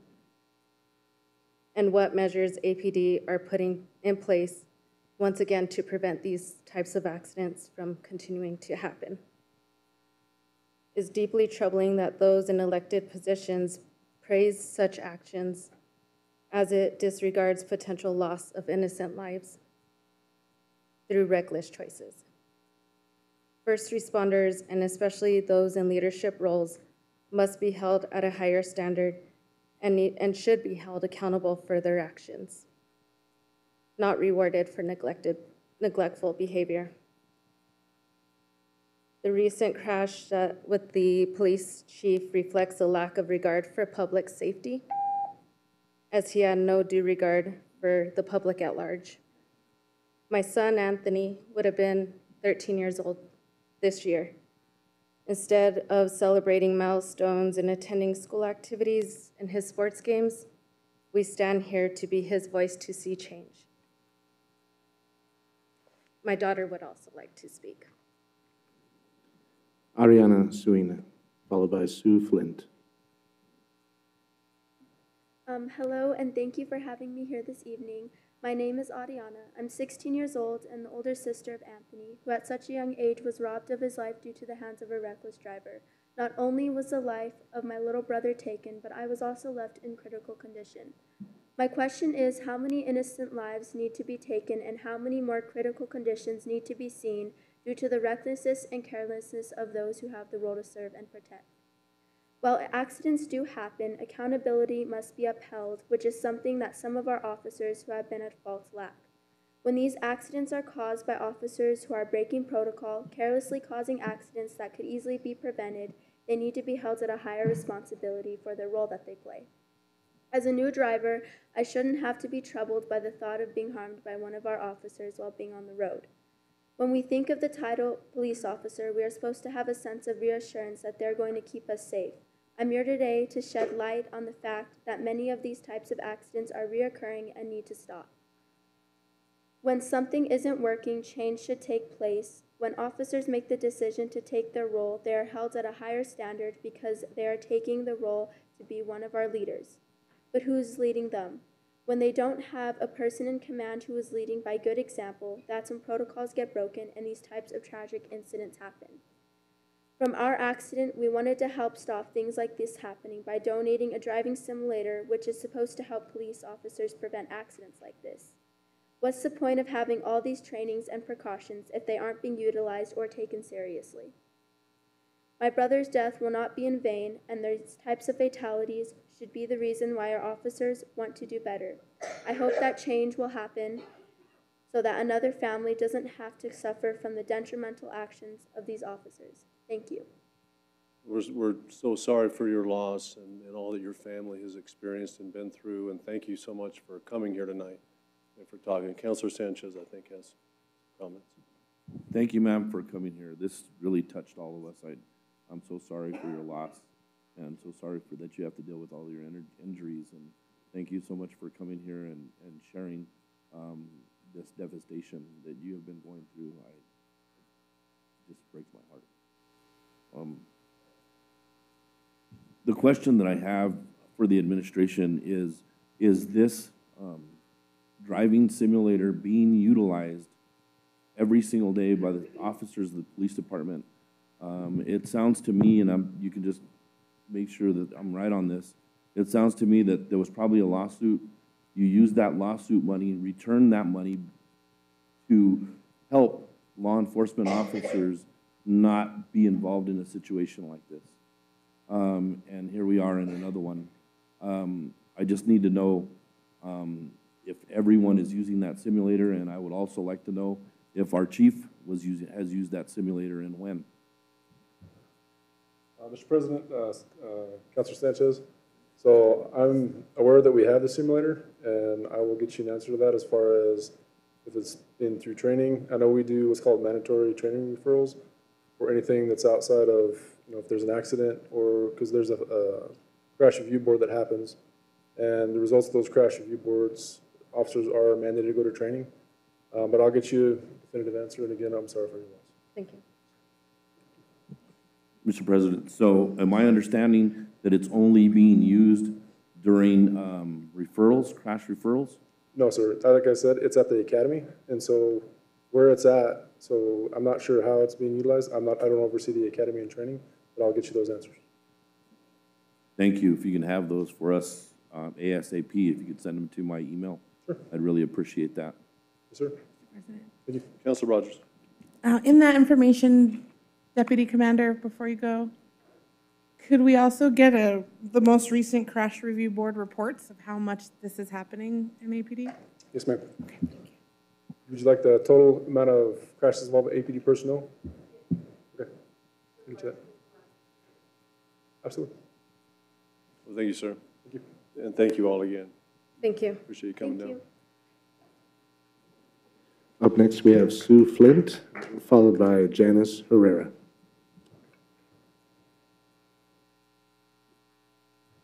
Evening. May I have the viewer, please? The viewer. Thank you.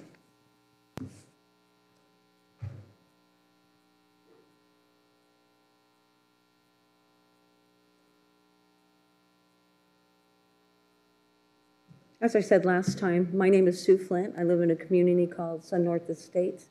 We're a manufacturer, home community of real property, homeowner-owned, single-family.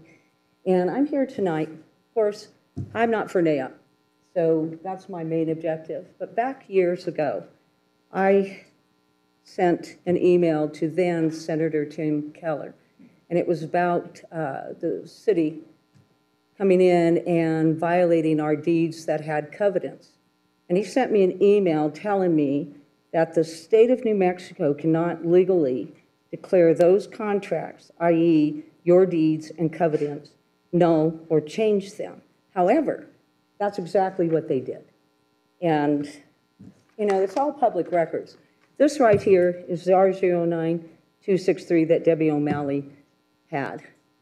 CAO then, David Campbell submitted the wrong comprehensive zoning code, SU1-MH Park, into this to the city planner, Chris Heyer. We are not a mobile home park. We've never been a mobile home park. We're an SU1-MH Park. It's not us. We're in SU1. And so this here is the map of Ron Bohannan that was used in the R1111. And he's about the only person with Jim Stroger who used that R09263 mobile home parks and communities as mine. Now, you passed his R043, and that was what I spoke about last time, which was against the Dillon rule. And it is not the home rule that you should use because there's a distinction between property taxes and personal taxes, and that's why the state of New Mexico recognizes it. Thank you. And thank you for not yelling at me last time for talking over. Janice Herrera, followed, followed by Anami Das. Good evening, Council President Lewis and members of the council. Tonight, I'm here to speak with you as a health promotion specialist at the Health Equity Council in service of public health and equitable outcomes in Bernalillo County. At HEC, I work under the Public Health Initiative grant for which our contract with the Health, Housing, and Homelessness Department includes some upcoming deliverables. Since there are some relatively new members on the council, welcome again. I would like to offer you a preview of what to expect. Each quarter, PHI staff at HEC prepare at least three one-page policy papers focusing on per- current public health issues that intersect with equity, including recommendations for programs and interventions for your review. This quarter, our team have compiled four policy one-pagers as follows. Health and access to public restrooms, a path to cleaner water, syphilis in Bernalillo County, and urban pharmacy desert, the International District. I hope that each of you find the analysis helpful when these reach your desks. We are also currently updating the community health profile for 2024, a data summary that reflects the health of our community using the latest information from epidemiology. I would like to praise my colleagues at HEC for their dedication and lens for equity. I also want to give kudos to city staff who lent support and expertise, especially around ArcGIS mapping. This includes Tiber Casuse Giovinto and Maria Gallegos from the Environmental Health Department. My heartfelt thanks to ArcGIS expert and HEC volunteer Michael Petula on loan from SWCA Environmental Consultants. Finally, also a shout out to my counselor Joaquin Baca and Councilwoman Nicole Rogers. Thanks for coming to Transit Equity Day at the Alvarado Transit Center. I hope to see more of you all at community events soon. Uh, I do appreciate your time this evening and wish you all a good night. Thanks. Anami Das, followed by Tad Numinski.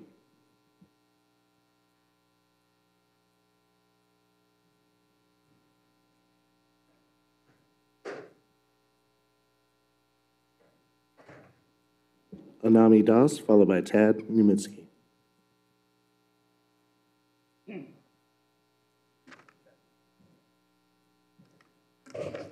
Thank you. My name is Ted Yamiski. I have hard time to hear myself without. Anyway, Route 66, history. Route 66, I remember 69, start at, you know, Albuquerque, start at Tramway Road. That was road, dirt road up and down no housing until you get to Eubank. So anyway, what about now? Of course, through downtown, uh, historic. Rest of it is ba basically gone, oh, except the, thanks to the city. Now, let me move on from Tremay going to going to Wyoming. Reminds me now another building uh, tagged by nuisance abatement with uh, funds, a, finds every day find $1,500. So so where is, uh, what about neighborhood? Where is neighborhood? City cleanup downtown area and other areas. Look at Trumbull neighborhood, south between San Pedro and Wyoming, all these alleys and nearby streets. Where is the, this who protects and serve where they are, council robbers. Maybe we can meet, I would like to meet for half hour uh, this week, this coming week. Then take a tour. Thank you. Anami Das, followed by John Major. Hi, y'all. Uh, my name's Anami. I'm the chair of the Human Rights Board. Um, I wanted to present a copy of R-24-1, the homeless rights resolution that the board passed at our last meeting. However, I saw Gil in the hallway and I got excited and I handed him my only copy. Um, so I would encourage all of y'all to look at that resolution. Uh, it's on cabq.gov. And uh, yeah, I think that's it. Cool. Thanks. John Major, followed by Rudolph Serrano.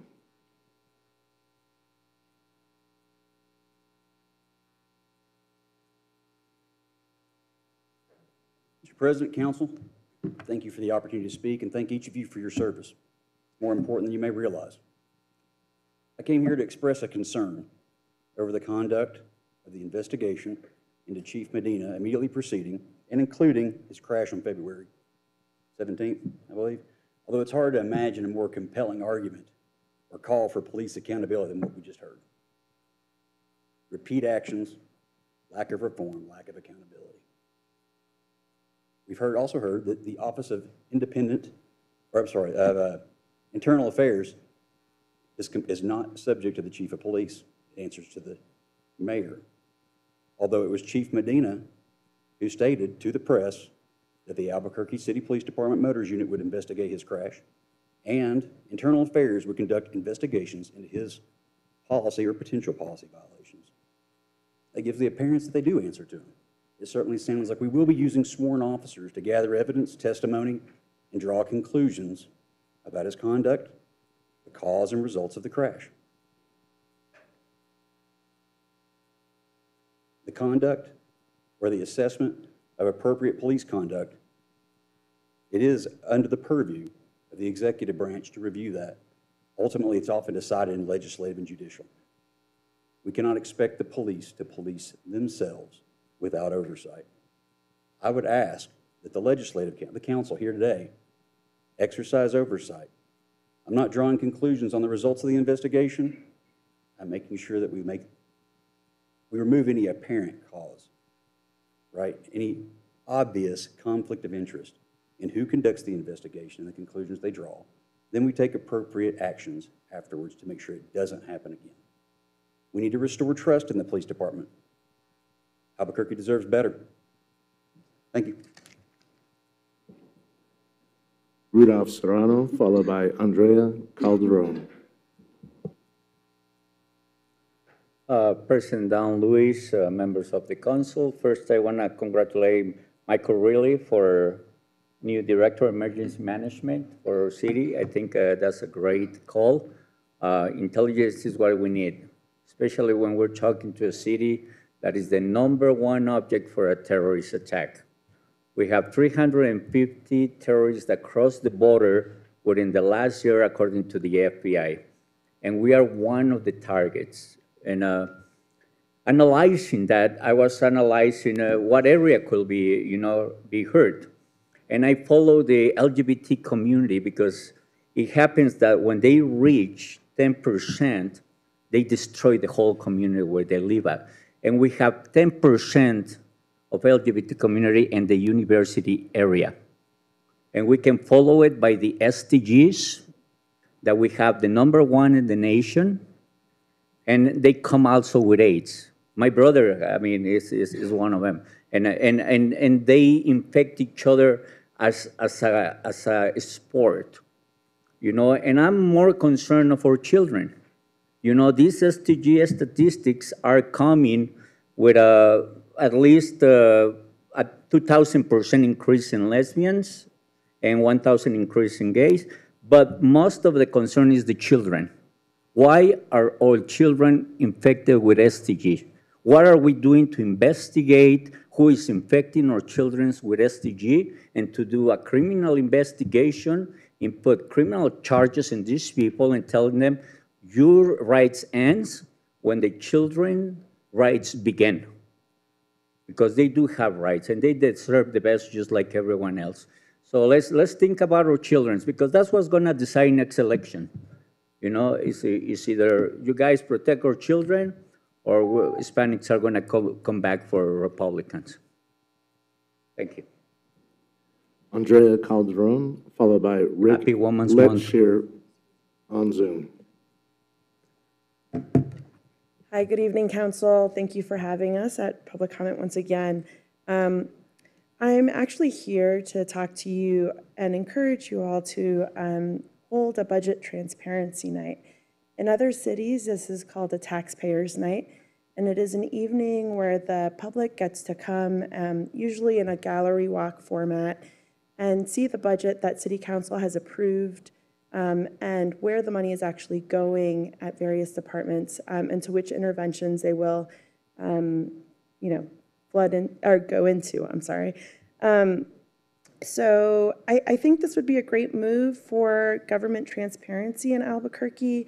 Um, the only way that residents are currently able to keep up with budget allocations is to sit through budget hearings, which, as you all know, um, are several and several hours, are quite exhaustive. I've sat through um, a couple of, you know, a good number of those last year, and it's just not something that I would anticipate that um, mothers, that folks with families, that students would be able to really spend the time to do. So, um, you know, I think this is something that is a non-political event. Um, it would be really great to see that kind of collaboration occur across the chambers of government with the legislative branch and the executive branch. Um, And I just think it would be, um, you know, I just want to encourage you to encourage administration, while I have the administration's ear, um, to uh, have their budget office lead the way um, in having that kind of event that would really um, allow the public to have better insight into what's going on at the city. Um, I, I also would recommend that the Indicators Progress Commission be a part of that process because I think they've really um, developed some community indicators um, that residents have given input in, but they really want to see the, uh, the needle, you know, move on um, to improve the well-being of residents. And so this would be a great way to uh, see how interventions match up with those community conditions and the shift that's happening there. Sorry, sorry for going over my time. Thank you all so much. Up next on Zoom, we have Rick Letchier, followed by Rowan Gallagher. Hello, my name is Rick Letcher. I live at 805 Manzano Street Northeast. I am speaking today in favor of adopting a new article amending Housing Code Chapter 14, Article 3. I live next door to a substandard property. This address is 5005 Mountain Road Northeast. The property is boarded up and has been under uh, city code enforcement custodianship for four years. Currently, the property owner is awaiting trial, trial for felony charges related to a SWAT situation that occurred on the property on January 24th. The property, property owner has a vast history of criminal activity compounded, compounded with mental illness and drug addictions, which leaves the property owner incapable to render repairs or to make the property safe for lawful human habitation. APD was called on on the property 18 times in the month of January. In the month of February, the property owner set fire to the residence in which 11 AF, AFD and APD units were dispatched.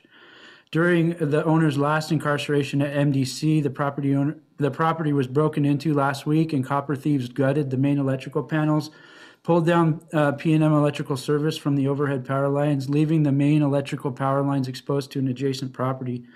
These dangerous situations are in close proximity to my house, putting my family and my neighbors at risk. This is why I'm speaking in favor of the administrative demolition ordinance to be adopted into housing code.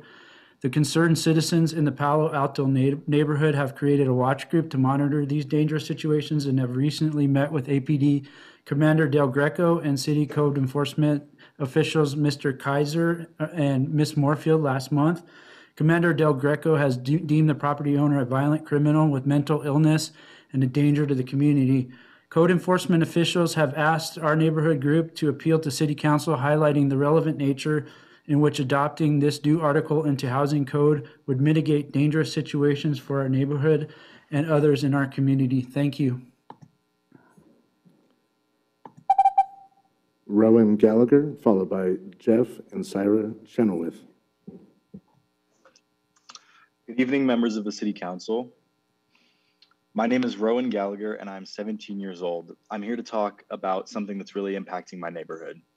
I live near San Mateo and Lomas in the Pueblo Alto neighborhood. Across the street from my house is a house that's been boarded up for four years. The owner is in and out of jail, and whenever he gets out, he comes back to the house.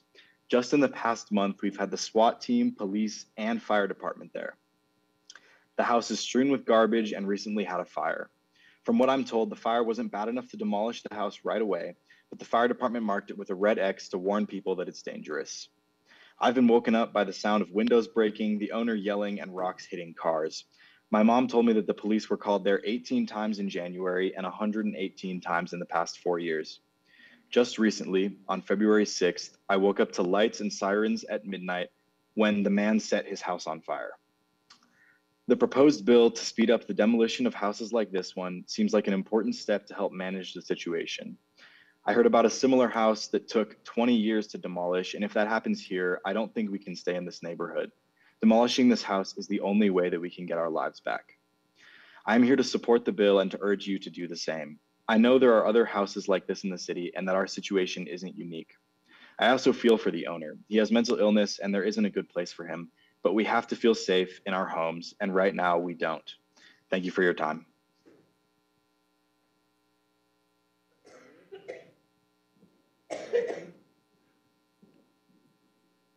Up next, we have Jeff and Sarah Chenoweth, followed by David Gargoni.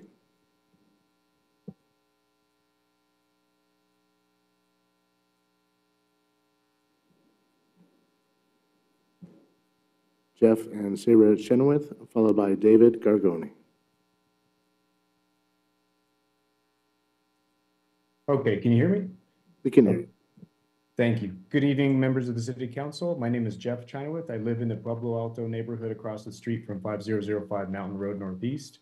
I'm here to show my support for the Code 14, Article 3 proposed administrative demolition ordinance. For the past 13 years, we have lived in this neighborhood, and before the current owner had any involvement, it felt like a really safe neighborhood. Uh, it's a shame that we spend less time outside, and I no longer feel comfortable with our kids playing outside our back, outside of our backyard due to the increased problems this house has attracted. When the owner is not locked up, he can fre- frequently be heard yelling at the top of his lungs, threatening to kill neighbors, contractors, breaking things, throwing trash around and into the street, bringing trouble into the neighborhood along with drugs. He has broken my windshield with a large rock. He's damaged my wife's car as well as our neighbor's car. He has lit fires on his porch, in the alley, and inside of his house, almost burning it down. He has chased people from his house with a machete and chainsaw, ran from police whenever possible, and keeps everyone on edge constantly. He has caused several lasting police standoffs and SWAT situations and has caused the fire department to come out several times. He breaks into his boarded up house when he's not supposed to be there on the property at all. When he's locked up, the house attracts squatters and copper thieves. Before the fire damage, the house had holes in the floor, piled up stuff everywhere, drug paraphernalia and, and excrement smeared all over the walls, according to sources who entered it. Now the house has water damage, the ceiling and insulation have been removed and is beyond repair. The house will attract more and more trouble and is unsightly. This is a good neighborhood being dragged down by a neglected and dangerous property. The proposed bill is really the only solution for us to have a sense of peace and safety in our neighborhood again. Please consider the urgency of this matter as it means a lot to us. Thank you for giving me the opportunity to speak. And then Cyra's here also. Sorry, we're on the same computer. Oh, please go ahead, Siren. Um, do I need a timer?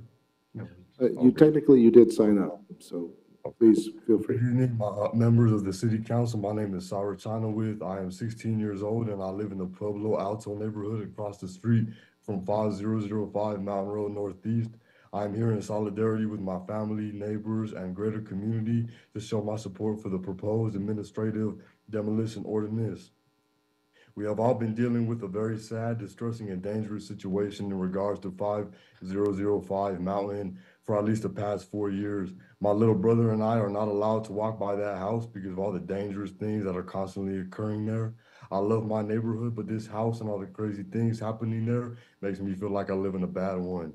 The house has been boarded up for years and no one is supposed to go inside, but just a couple of weeks ago, me and my parents were awakened in the middle of the night to tons of lights and sirens because the owner broke in and set it on fire after having us all on edge in the days before by starting a fire in the alleyway right by my house and then one on the front porch of 5005 Mountain. When I woke up, I thought my house was on fire, and when I knew it wasn't mine, I got very worried for my neighbors on the other side of the wall from where the fire was. Just last week, one of the boards to the house was removed and a window was broken out in addition to an electrical line being cut and left dangling in the alley. When the owner isn't there, which is often, it seems to be a magnet for trouble, like people doing drugs there or just trying to get inside. And when the owner is out of jail, he not only um, uh, comes to the house and throws garbage, glass, large rocks, and furniture all over uh, not only his yard, but also the street and even other people's yards. We were told at one time that he was allowed to be there during daylight to fix his house up, but he just stayed all night and never fixed anything. He actually started destroying more things every time he was there. My biggest fear now is the house being on fire again and someone else's house burning too. Um, and thank you for giving me the opportunity to speak. Um, and I hope the bill is passed. I appreciate it. Thank you. Up next, we have David Gorgoni. Good evening. Good evening, members of the city council.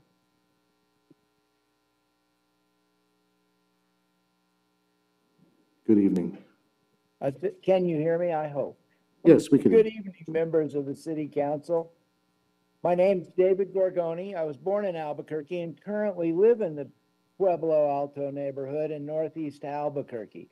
Over the past 10 years, I've noticed an increase in boarded up, destroyed, and uninhabitable commercial and residential structures in our city.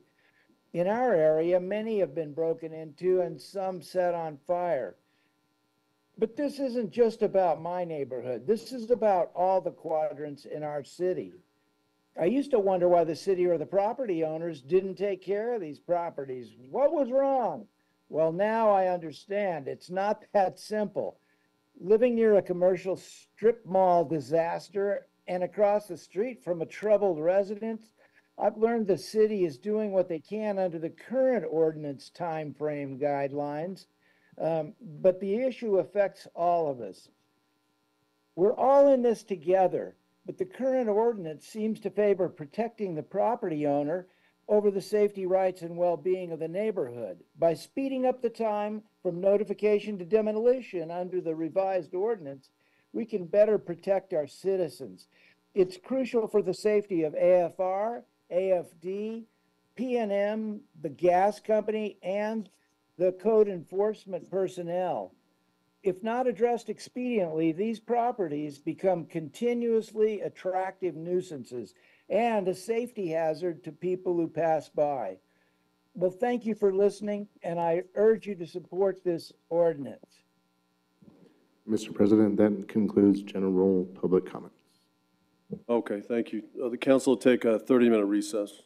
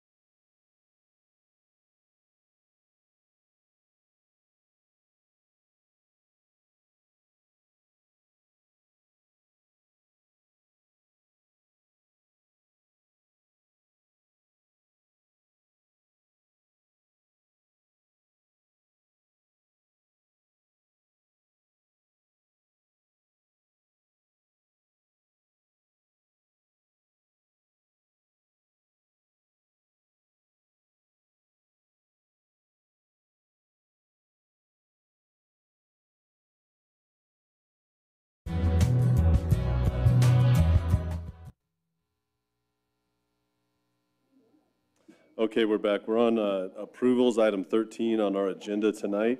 Um, Item A is EC 383. This is declaring 508 First Street Northwest non-essential uh, for municipal purposes. I move approval. Uh, Motion and approval, ver- or motion and a second from various councilors. We'll say Councilor Grout. Uh, Councilors, any uh, discussion um, on EC 383? Uh, Councilor Champine. I just have one question for the administration. The um, price, is, do we have a set price that we're selling this, or? Um, Mr. President, Councilor um, Champine, I all of a sudden couldn't remember your name, I apologize. Um, We um, have an appraised value on this property. Um, If we made the decision to uh, sell it by auction, then we use uh, the auction house to do that. Um, I want to, if I may, just address that um, making this, um, moving this forward does not mean that we have to sell the property. This allows us the opportunity to consider mul- multiple options, one of which is selling. The other is that it could, it would allow us to move this property into um, MRA as a developable, pro- a property that could be developed as well through the MRA process. It also allows for us to, um, any entity that has capital outlay dollars to make an improvement that might be interested, whether that's a- likely a nonprofit that may have that, it allows us the opportunity to also discuss the possibilities with them. So I want to be very clear, our intent is not necessarily that we have to sell. We want to give ourselves the opportunity to have a more robust conversation in the community for the uh, use of this property. Okay, Mr. President, the reason why I ask is that, that specific deal, knowing the plans for the rail trail there, that's prime location that if it was for a profit, then why not wait till later when it's Um, Mis- valued more? Mr. President, um, Councilor Champine, you know, our, our interest is really looking at the possibilities, and we want to be in a position to consider all of these options. Um, Our goal is for this to be activated for a good quality use um, on the street that it's on there. You- As you all know, we've made improvements with the Marquette um, continuation that's just south of it. And we think that um, in- ensuring that the building doesn't sit just empty is the best opportunity for us to engage in these discussions. We are looking for the opportunity to explore the possibilities, and by doing this, it opens up many other possibilities as well. Perfect. Thank you, thank you, Mr. President. Councilor Grout. Thank you, Mr. President. Um, um, Can you tell us if there are people that are interested in this property? Mr. President, Councilor Grout, we have had um, folks that own property adjacent to it um, express interest in knowing what our plans are. They've expressed interest in understanding the types of uses we would consider because they have the developments that they have on that street. Um, So they have been paying attention and um, are interested in whether or not we would be uh, selling or looking for a development. So the, all of the other businesses in the area, not all of them, I should say, several of the businesses in the area have expressed interest in this process and have been paying attention and um, are, I have talked about the possibility of purchase if we make the decision to sell. Thank you, Mr. President. One more question. What were those things that you, um, you told, you know, you, they asked about, and what were the options that you were expressing? Um, Thank you, Mr. President and Councilor Grout. Um, As an administration, we've had multiple discussions about several nonprofits that are looking for um, the ability to improve a space for their specific needs. Um, And um, none of them have entered into any sort of commitment, to- so I don't want to imply that we have any commitments, but we do have several nonprofits that have discussed needs for performing spaces or art gallery spaces. Um, Again, no agreements, or, uh, we also have thought about whether or not through MRA development, if there are businesses that are interested in being located downtown, if we have the opportunity to utilize the facility for um, a business to grow or start in the area. Um, And so we're really, in- we really hope to be in a position to have a much broader, open discussion about those based upon it being considered non-essential for the city, and we can think through all of those options. Thank you. Um, I'm just going to throw this out there. Would it be a good place for an emergency shelter? Uh, Thank you, Mr. President, uh, or Mr. President, thank you, Councilor Grout, for the question. Um, Based upon the location and the limitations of, um, of this building, I think it's important to note there's two parking spots in front of this spot. Um, The access to it is semi-limited. um, And based upon the improvements that have happened in the, in the neighborhood there, um, we did at one time um, uh, assess it for that purpose and found that some of the limitations of the value, that are in there, it does not have um, kitch- you know, improvements that would lend itself to being a um, shelter in its current condition. Thank you very much. Councilor Sanchez. Thank you, Mr. President. Um, seen it before, I just don't want to see it again. Hopefully, if this, if this lies in the rail trail, are we going to be seeing it repurchased as a city property later on? Um, Mr. President, Councilor Sanchez, that is not our intent. Um, That is why we actually want this to be an opportunity for us to consider all of the uses so that we make a well-informed decision as we move through this. And it's important to note, it doesn't mean that we have to um, dispose of the property. We want to be in a position that we can consider these other options. The only thing that's, that concerns is if we get rid of the property, sell it at a lower price, and then turn around and buy it for the rail trail at an, at, at a higher price, then that is an appearance of impropriety that we just can't accept.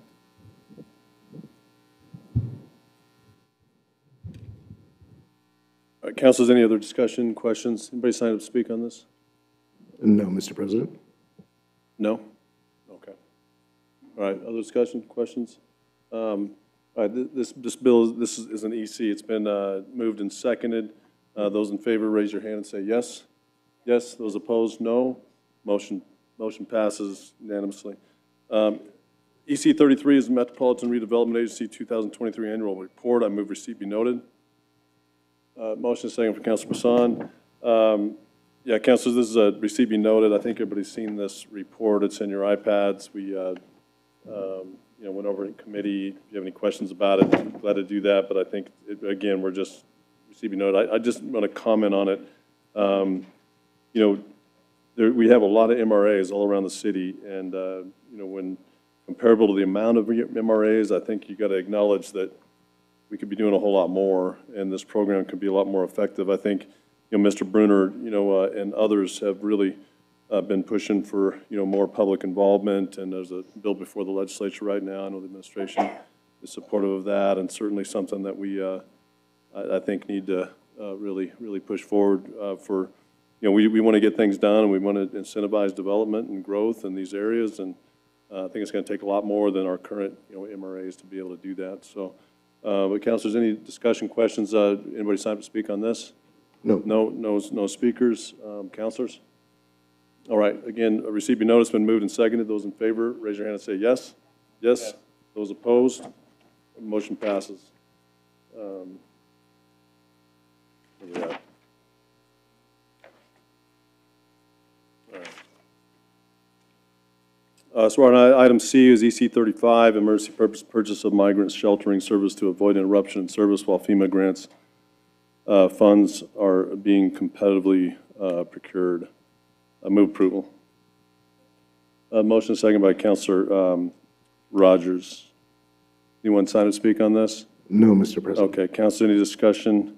Um, Have have just a, um, uh, a few questions on this. My understanding is that um, all, all of this is grant funding from FEMA. Um, Is that correct? That even the, even the original money from 2022 was, was grant funding?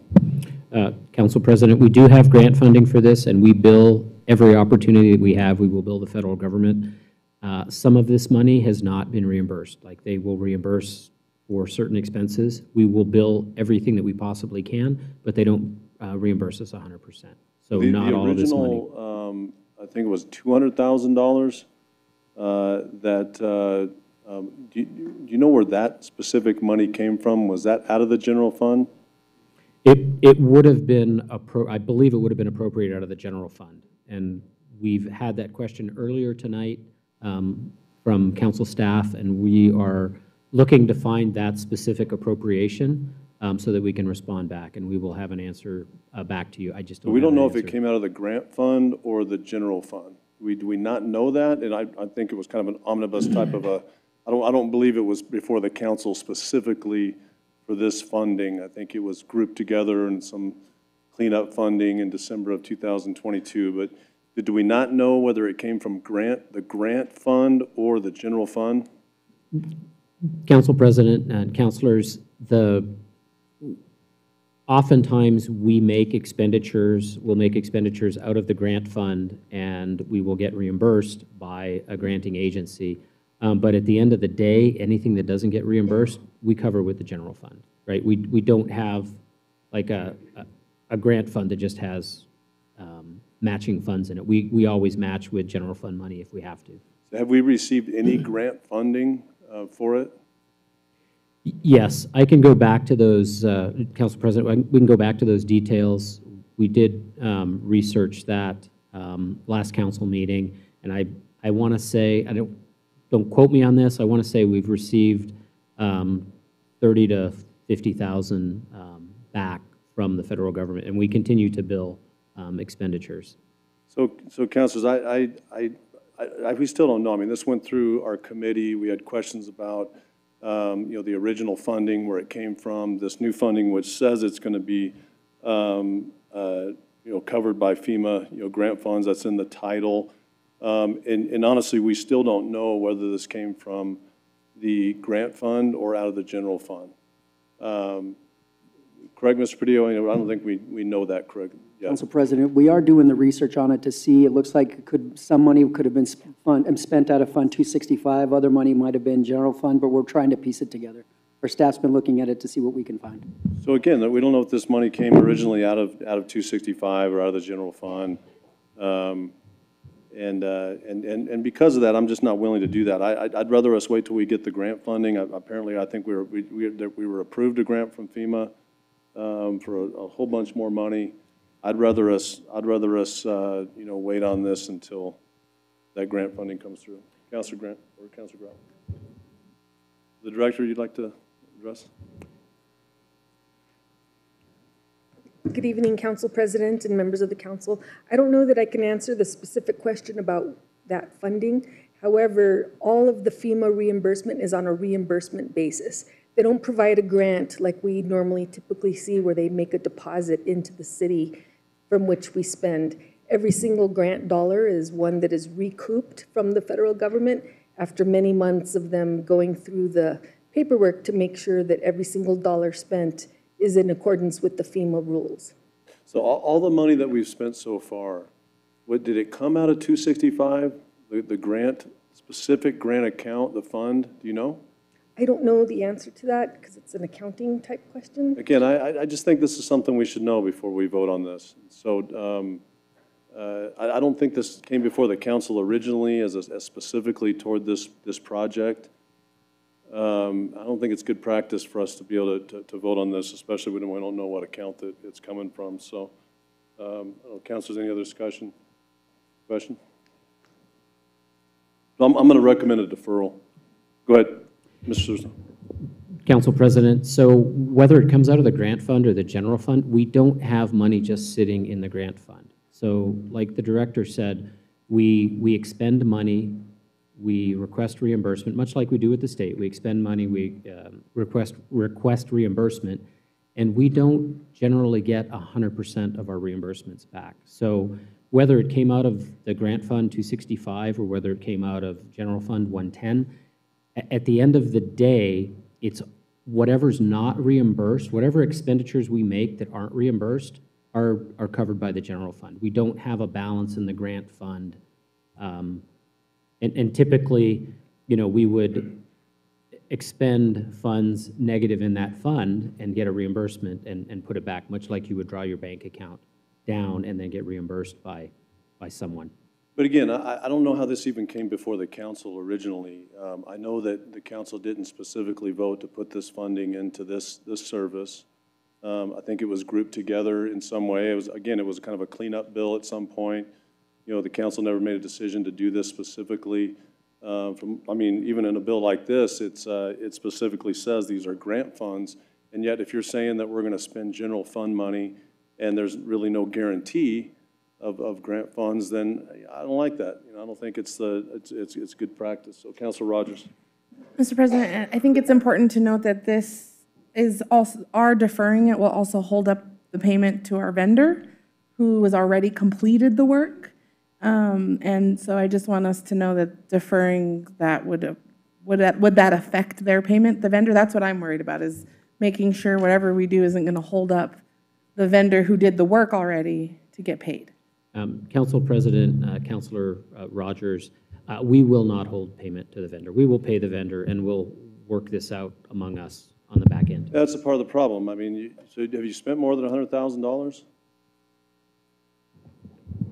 Council President, we are before you because we have spent uh, more than $100,000. Well, thank you. I mean, you've already spent extension. over hundred thousand dollars, and so, I mean, I believe our charter says that, that, uh, you know, in order to spend over hundred thousand dollars, you have to come back to us and get approval for it again, but you've already spent hundred thousand dollars, and so, again, I think that's a mute point, it's gonna happen anyways, you know, with the way, uh, the administration's operating these funds. I'm gonna move a deferral at least till, you know, two weeks. I have Go ahead. Mayor, Thank you, Mr. President. Councilor I have a Brown. question. You said that we won't get reimbursed hundred percent. How much do you anticipate us to get reimbursed? Council President, Councilor Grout, I don't, I- I can't estimate that at this point. I think so far we've been, I I think we've seen 25 to 30% reimbursement on the fund based on what I remember from our calculations last time. Um, And it's possible that we will get additional reimbursements from the federal government. Going forward, um, you know, the, the new grant that we have, that we have, uh, was awarded for 700 and some odd thousand dollars. Um, Going forward, um, we will bill, again, just like this one, we will bill every expenditure that we think is um, applicable, and we will, you know, request reimbursement for those going forward on the new you. grant. Mr. President, could you get us a list of what you think, what are the expenses that are reimbursable versus the ones that are not? I'm very, very curious. We, we can get that for you. I do know the new grant is very broad. Uh, The, the new grant that we are seeking um, a contract um, administrator for, the new grant is everything from temporary shelter, food, um, emergency or acute medical care. There's also transportation costs that are reimbursable. Um, And I will say, you know, we will bill the federal government for any transportation costs. If we have an individual that has been released from ICE custody and they need to move on to a forward destination, we will pay for that to get them to their sponsor or their next destination, and we will bill the federal government for that. Thank you. Um, How many people is this um, handling? Like, these, this money, how much? So President and members of the council, the um, number of migrants who presented in Albuquerque and were assisted by us in the calendar year of 2023 was a total of 1,061 migrants. Thank you. Or follow-up, are those migrants still here? No, the vast majority have onward destination almost immediately. Sometimes they have plane tickets or bus tickets same day. Other times they don't have that same day and they need overnight shelter or assistance getting that. And on an occasion, some of them do choose to settle in Albuquerque because they don't have any other plans or people that they're trying to connect with. Thank you, thank you. Councilor Fiebelkorn. Thank you, Mr. President. I- So I just want to be very clear. um, What happens if this is not approved, the $50,000? um, What services would not be provided to folks in need?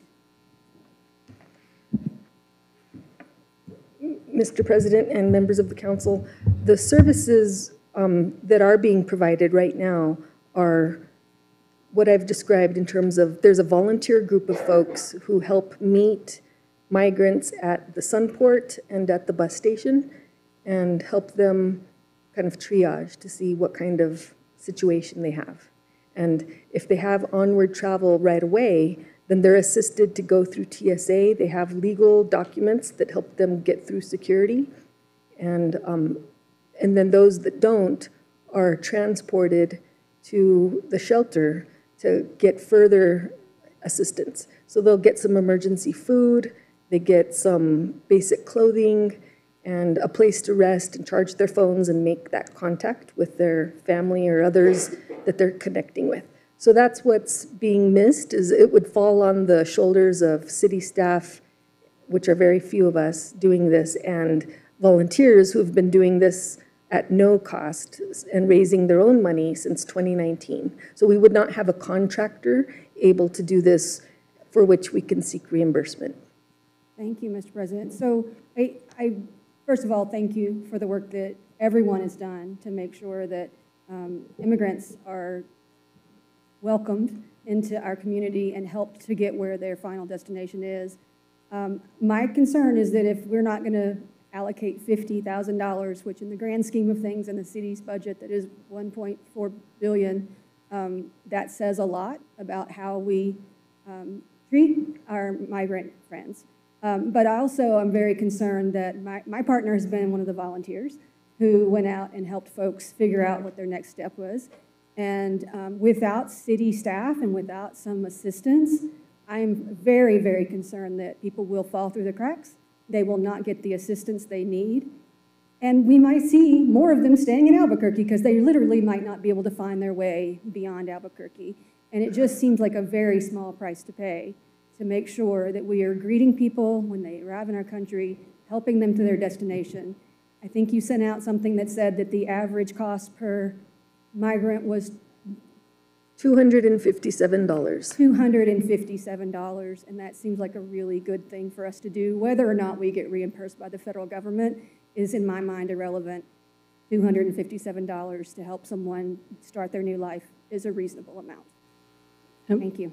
Council President, I wanted to uh, clarify one point, that what is before you is notification from the mayor of an emergency procurement, um, and under uh, Ordinance 5519, uh, the mayor may approve those, and then he provides notification to the council.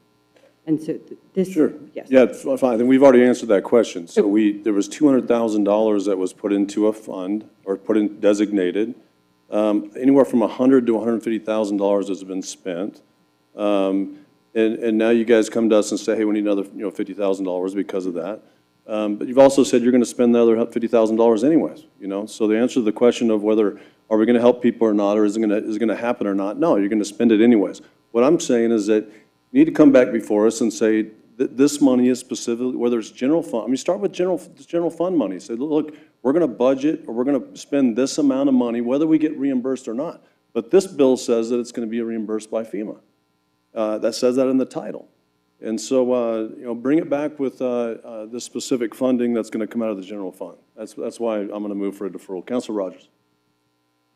Um, Director Melendez, I just wanted to see, in addition to the information, would you also send the council a definition of the difference between asylum seekers, uh, undocumented folks, and refugees, just so we understand that asylum seekers are going through the legal process um, to be here. So I think that's really important to note that, that we're talking about asylum seekers here. Is that correct?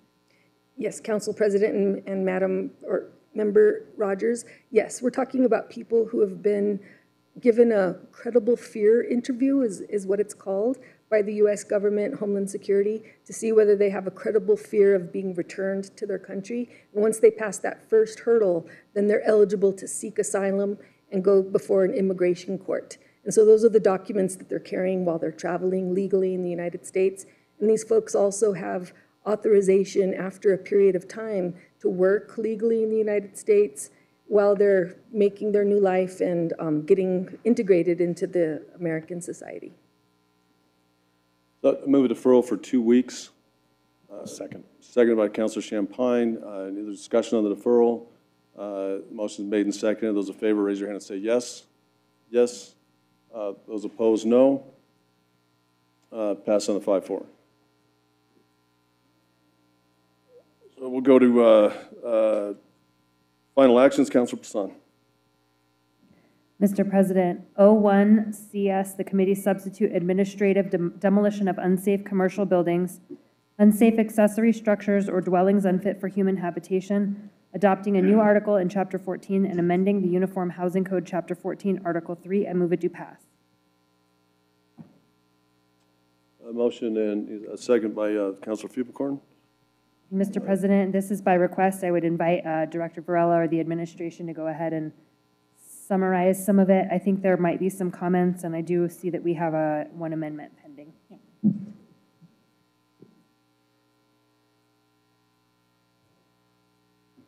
Uh, Council President, Council, good evening. Uh, We're pleased to be here. We want to thank you for bringing this before the council. As you heard from many of the public commenters, we have uh, challenges in our city when it comes to dangerously dilapidated properties. Uh, You know that because I've been before you quite a few times over the last couple of years presenting uh, instances of those and seeking council approval. Uh, What this bill will do is it will uh, ensure that the objective measures that we use to make sure that it's been inspected, that it actually is structurally unsound or unsafe and such, the same information we bring to you when we go to council, that those stay in place. Uh, So there's nothing subjective about the decision. However, rather than going through the council process uh, at the beginning, we will go to an independent hearing officer and go through that process. That process will be uh, quicker than going to council. I do understand that there is a proposed amendment to this bill. We had initially drafted it so that the appeals would go to district court rather than the council. Uh, The amendment, uh, which the administration does not object to in any way, is for an appeal of the independent hearing officer's uh, decision to come to city council. So you would still get a bite at the apple, so to speak, in these matters if somebody does appeal that. Um, And with that, we'll stand for questions. Mr. President, I just want to make sure to clarify uh, through my conversations with the director, I mean, this is not to say that this is going to uh, circumvent any part of the process when it comes to evaluating which properties are going to be deemed substandard or, or be on the list for uh, potential demolition. And correct me if I'm wrong, Director, but this is something too that there's still at least a 12-month process, at least, that code enforcement and the planning department already go through to make sure to give proper notification to the different property owners, to allow for communication and, and remedies. Uh, and so it's just that, you know, there comes a point where, in my opinion, and I have been guilty of this, that when there is an appeal or, or when, when planning comes to us at council, it definitely sometimes is, is easy for us to say, hey, this is a constituent in my district, so now I am going to move a deferral for 90 more days. And almost every time since I've been here, we pretty much always vote to, if not always, vote to go ahead and go with the original recommendation. And so I think that this will allow for us to streamline uh, the process while still offering the right kind of treatment and communication with constituents and property owners in Albuquerque. Um, and then, you know, for, for the potential amendment that seems like it's going to be coming down the hopper on that, I think also it would make it so that we would be able to, as a, as a council, be able to evaluate based off of whether or not the hearing officer checked the boxes right and did the evaluation properly, rather than on what I, I look at as sometimes some fluffy feelings that we might have because we really, really want to represent our constituency to the, to the fullest. But sometimes it's not about how we feel so much as how the process has been unfolded and what's best for the city and for everyone else as well. Our councilors, any other discussion, questions for the director? Councilor Groton. Thank you, Mr. President. How can you be sure that the appeal process will be faster if it takes place at district court? And uh, Council President and Councilor Grout, uh, that is why we agreed to the amendment to where the appeal will actually go to you, to city council, not to district court. But how, how do we know that when it goes to court, district court, it will be faster? And Like, what is, Council President Lewis and Councilor Grout, I'm having trouble making sense of that question because if, for example, now city council had made the decision and it was, that decision was appealed to district court, the city now has no control over district court timing of any matters. And uh, it's, an- that's a separate branch of government entirely. So I, this, this bill has nothing to do with the speed of district court. Mr. President, If I may help. with Councilman what- Bassan. Thank you, Mr. President. Counselor, I think if I'm understanding correctly, if there was, if planning were to come to us at council and we were to vote um, to demolish a property and then the person and property owner would to decide to appeal our decision, they could then take it to district court. Correct. Yeah. This would, as written, the bill would skip the, the part of us and allow for it to go to district court. But then with the amendment, because the, dis- the develop, the hearing officer is added into that, now there's that legal aspect of it that's happening on the front end of it rather than on the back end of the situation, if I'm correct. That, that- that is, that is all correct, yes. And I don't mean to somehow imply that um, I don't appreciate your question. I just don't understand how that, that has nothing to do with the bill. And when I talked to you before, and I asked you that same question, you and your helper um, told me you could not be sure we would be at the mercy of the court. Cor- Correct. If, it- and that's, that's the case with any decision made by council whatsoever, a land use decision, a zoning decision, anything that uh, is appealable to district court. The, the city is not in control of the district court's timeframes. That is correct. I, I would agree with that. Yeah. But the reason you were bringing this to us before us is because you wanted to do this, everything quicker. And so how do we know that this updated process is going to make things happen quicker? So we, we have several bases for knowing that's going to happen. First of all, um, independent hearing officers don't go dark part of the year. Uh, Independent hearing officers are at the beck and call of the, uh, of, of the city. They're on contract, and so they don't have to fit something into their very busy agenda like city council does. Um, If a matter is presented to the independent hearing officer through a, uh, you know, a notice of violation and a petition for a hearing on it, that hearing will take place somewhere between 10 and 30 days from when that is filed. Uh, Unlike the council process, which, uh, when something gets introduced to council, council has to take into consideration all the other items on its agendas. Council then goes through a two-week introduction process where it sits. Uh, Council then will sometimes refer it to a committee uh, for consideration. That delays it another month. And then, within a few weeks to a month later, comes back to council. We're now approximately three months into the process that would have taken the hearing officer 10 to 30 days to get to. Uh, And then, once we get to council, uh, the matter is often deferred, and, uh, and Counselor Bassan was correct, uh, quite often deferred. And I can tell you that in every single one of those instances, uh, our heart all went out to the uh, property owner, and not a single dime, because they had been years and years in this process. We take this very, very seriously. We beg people to fix up their properties. It's a last resort. Every single one of those, we've come back and you've eventually issued the condemnation resolution, and the thing has finally gotten uh, removed. So that, that's been the way, it that's been the way it goes. So yes, this will shorten the process. I think it will also um, allow council to, rather than hearing a litany of information from the planning department about the years and years, actually review, like you do with LUHO, uh, a well-reasoned, focused, meaning that they didn't have divided attention with other agenda items, a well-reasoned, focused opinion issued by a hearing officer to determine whether you will uphold that or whether you will, uh, you will reject that. Thank you.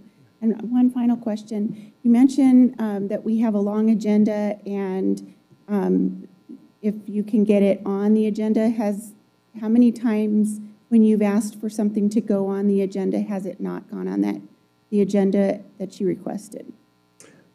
Probably countless times. There are strict deadlines for getting stuff, uh, I'm sorry, getting, getting the legislative packages uh, to the 11th floor to draft the, uh, the goldenrod packet, which has the cover memo, the FIA, uh, all the other analysis that's required. If we miss that deadline, which is, I believe, approximately a week before introduction period at council, then we have to wait until the next round.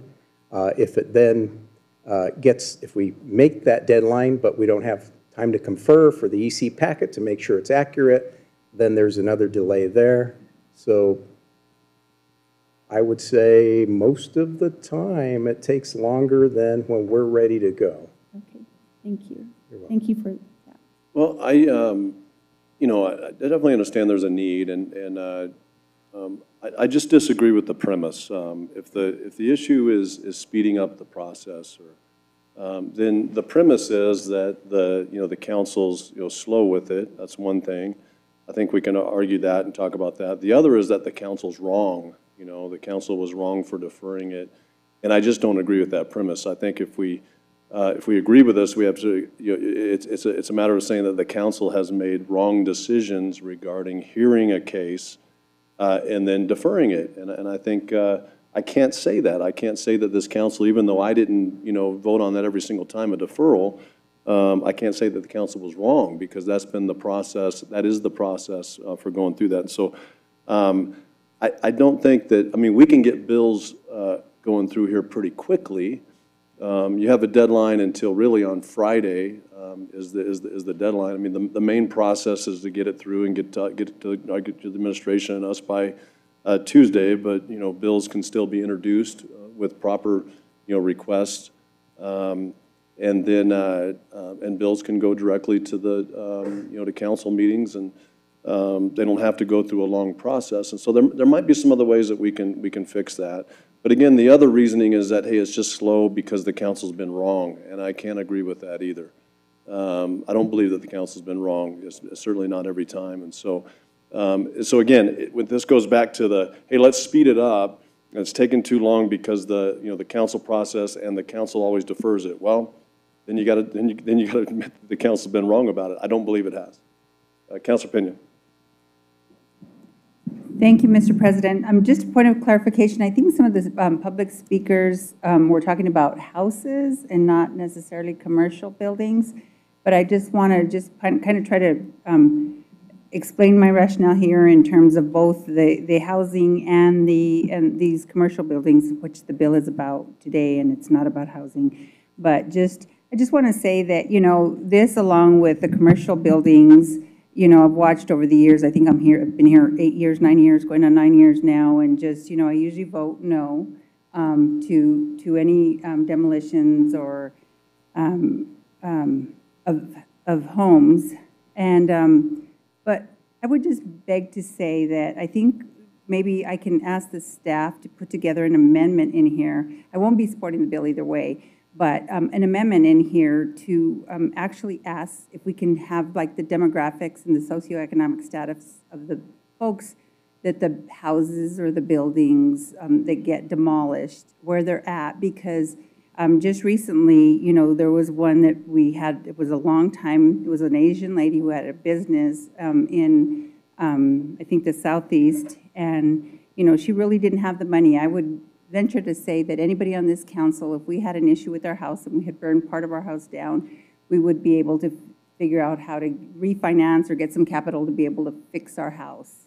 But um, many times when these cases come in front of us, they're really like hardship cases. They just don't have the money or the resources to go and refinance their building or refinance their house or have the insurance. And they are, they're trying to hold on to their property as long as they possibly can. And I think that's why, um, alluding to what Counselor um, Lewis is suggesting, is that we're not wrong, because when you have someone like this lady, who eventually the vote was to, to do what we do, um, we weren't wrong because we kept on giving her opportunity after opportunity. Unfortunately, because of her hardship, she just didn't have it. So at the end of the day, she was forced to kind of say, hey, I'm, I can't fix it. Um, I can't afford to even pay the demolition fee. So why doesn't the city just go ahead and demolish it for me? It'll be on my taxes and I'll sell it and hopefully I'll be able to get at least some money uh, from some of the, the business, the property that I owned for so many years and maybe just land up with a handful of, um, a handful of money compared to um, what she could have gotten. And I do see it as an opportunity for others who do have the resources. Lots, sometimes these properties are in prime areas and they come in and they'll buy it and turn it into the wonderful thing that that same Asian lady had always envisioned it to be. So um, just to say that uh, I just, I will not be supporting this bill. So thank you. Uh, Rogers, we're going to move the floor amendment, or we already? Okay, uh, Counselor Rogers. Perfect. I just wanted to echo, thank you, Mr. President, that we did do a floor amendment to add that. It's in our iPad, so I will get to that after this first amendment to add, because I had the same question. Thank you. And uh, so Counselor Grout. Thank you, Mr. President. I do have a floor amendment to um, Committee Subs 024-1. Um, On page six, beginning line three, revise as follows. The hearing officer shall issue and serve an order that advises the owner of the owner's right to file an appeal of the hearing officer's decision um, with the city council. The owner may file a written objection with the city clerk within 10 days of the receipt of the order, asking for a hearing before the city councilor, council. The city clerk shall deliver the written objection to city council within 15 days of receiving the written ob- objection. Such an appeal shall be heard after notice at the first available meeting of the city council. City council may affirm, reverse, or modify the decision of the independent hearing officer. Property owners uh, grie- uh, grieved by the decision of city council can appeal to district court. And this amendment proposes to send appeals of the, um, I, the independent hearing officer to council. Instead of district court, appeals of the city council decision would go to district court. The process would go as follows. Independent hearing officer, property owner has 10 days to appeal. Appeal is submitted within 10 days to the clerk. Clerk has 15 days to transmit to council, and council receives the appeal and schedules on the first available council meeting. So that's it. Need a second? So, you a second? Okay. Um, So, uh, Counselor Grout's moved the floor amendment, it's been seconded. Questions on the floor amendment? Um, we'll Go for a vote then. Um, Those in favor of the floor amendment say yes. Yes, those opposed, no. Uh, All right, that passes. So this is uh, 01, uh, the committee substitute as amended. Counselor uh, Rogers. Thank you, Mr. President. I have a, um, also an amendment to O-24-1, um, and I'd like to include what Counselor uh, Peña brought up about socioeconomic status, because I did not include that in my amendment. Um, And so right now it reads on page eight, thank you for the hard copy.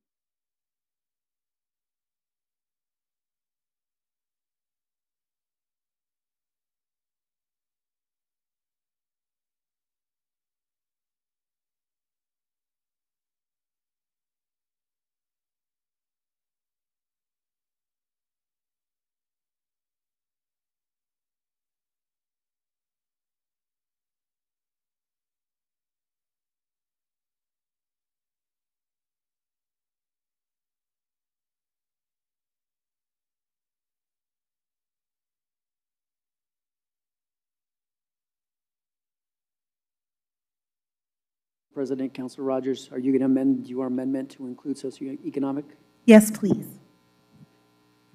And Councilor President um, and Councilor Rogers, can you explain again where that is? Where, we missed it, we were trying to get the amendment. I mean, this was kind of described by Counselor Peña, if we're going to add this, we probably, it sounds like more than just writing a quick sentence, so if we, if we do this, I'm going to recommend we defer this whole thing. Well, we already actually, if I may, Mr. President, have a guide for the city of how to collect demographics, so we would just need to pull from that guide the approved questions that are already approved by city, by the city on what demographics we could. We got to get language down uh, that Coun- Counselor Peña uh, suggested here, so is that what, you guys, you guys working on that right now? Mr. President? Good, Counselor Bassan. I think the amendment, and, and correct me if I'm wrong, Counselor Rogers, but it would be the planning department shall track the race, ethnicity, and socioeconomic status of the property owners, da-da-da-da-da. Correct. So, so Counselor Peña, is that what you, the essence of what you were wanting? Okay, so this, this amendment does that then? Yes, and I'll second it, but I'll, I'll vote for the amendment. No. So that, so the, the- the recommendation is for this amendment as it's written? Okay. Correct. So all we're doing is adding after race and ethnicity, socioeconomic status. Okay.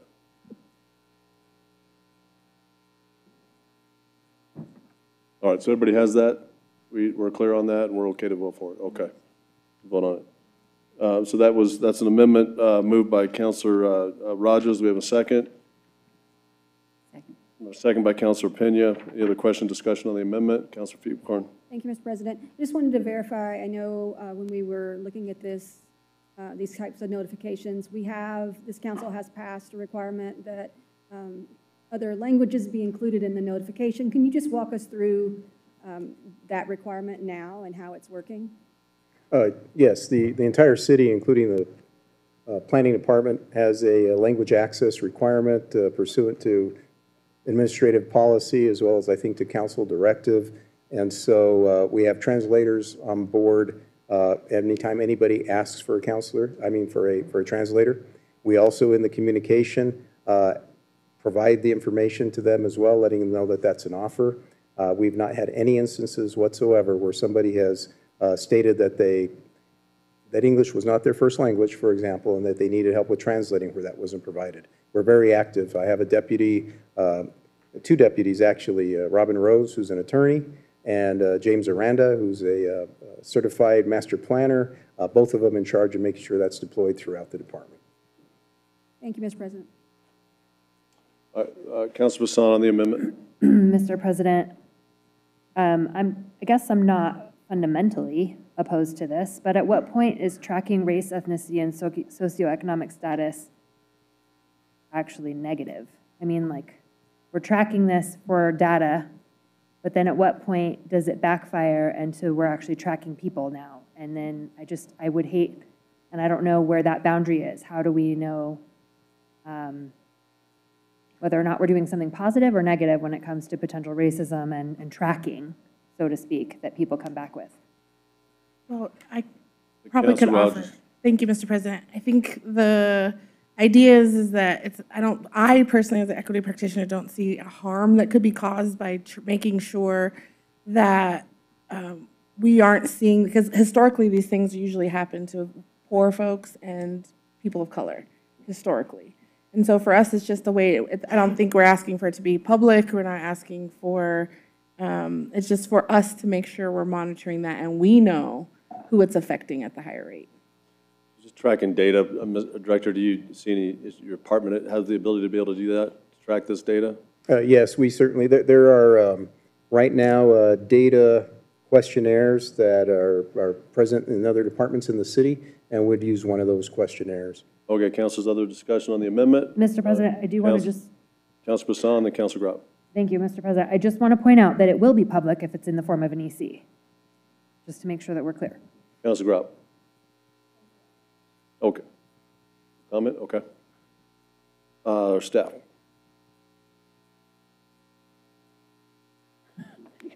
Very well, thank you. Ms. Morris. Um, We just realized that there are two meetings for biannual, um, and we wanted to check whether you meant twice a year or every two years. That's what we thought. Okay, thank you. Uh, In the amendment, rather than using the phrase biannual, we'll use the word twice a year. All right, uh, the amendment's been moved and seconded. Those in favor say yes, raise your hand. Those opposed, no. Motion passes. Uh, We're back in the bill as amended twice. Uh, Back to sponsors, or any other discussion? We'll go back to the sponsors close. I'll I'll make just a quick comment. Um, I, um, you know, again, I I guess I'll just, you know, re-say this. I'm I'm not sure if we're, I just don't, not sure if it's, it's, if it's really a problem, you know? Um, I think the process is, the process, even if it takes long, is, is, is still good, you know? I don't think it's a bad thing when there's a long process, but at the same time, um, I think there's very few issues when, it, relative, you know? Um, and, and I really think, and, and with, with all respect to our, our department, I know it's always a challenge, but I think there's some bigger challenges and bigger, bigger problems when it comes to, um, you know, our planning and, you know, uh, moving our permits forward and being able to make sure that we're, uh, we're really efficient as a department. And again, that's nothing negative on, on- on our department director, it's just, that, that's a need probably in every planning department in our whole, s- in, in, in the country, you know? Um, I just want us to get better and better and better at that, um, and, and focus on some of those things. And I, I know that we're not, you know, focusing on this in, in, in the place of that. I'm just, I just want to make a, make a point of that, so. Um, but let's go back to the sponsor. Councilman Bassan. Mr. President, a couple things I want to add based off of the conversation. Um, I wanted to add that part of what increases the timeline, even though it's, it's fully within the purview of council, is oftentimes when it does get to committee, this, this type of bill, we defer it a few times in committee, and then it comes to full council where we then defer it a few more times. And so it does elong, I've seen it elongate the process quite a bit. Um, I respectfully disagree that by voting for this bill, it means that we're saying we were wrong before, because I don't think the council has been wrong in deferring before, but I do think that we do need to increase efficiency. And that's what the purpose of this is, is to be able to increase efficiency while making sure that people get their property rights and their, their due diligence. And while we're talking about a city that is melting down with dilapidated, debaucherous, really problematic behavior. I think that it's very difficult for us to sit here and say, we should make sure to hang on to these properties that have had very elongated lengths of time to have an opportunity to rectify and repair their, their prop, their commercial property, which is now becoming an increased magnet for further abuse, fire, danger, not only for our first responders, but for the community members who might be seeking shelter in there, might be lighting a fire, might be doing something on purpose in a negative fashion. There's a multitude of reasons. So for us to say that we want to clean up our city and be efficient and do our due diligence as a council, I absolutely believe that this bill will help smooth that out a little bit while also making sure that we keep property rights in balance for the city of Albuquerque and keep people safer uh, in a more efficient, expeditious process so that it can be a little bit fairer for everybody. Uh, You know, I just think that, how, I do have one more question, though. Um, Director, how many properties that we end up demolishing, when it does come through the traditional process, would you say could be sold to a different property owner to be refurbished and rebuilt without razing it to the ground? Zero. Okay. So I think that we have, we also have a responsibility to the public to make sure that they are safe too, and we prevent further damage and further danger from occurring, and, and do it in a, in a way that's best for them as well as, as well as the owner themselves. So I, I do urge your support. I think this would be a good decision for, for Albuquerque. Uh, we do have a few speakers, so, um, Ms. Garrett, or, uh, Ms. Cornelius, if you call the, Thank you, Mr. President. Our first speaker is Tyler Richter, followed by, excuse me, excuse me, Ted Nowinski.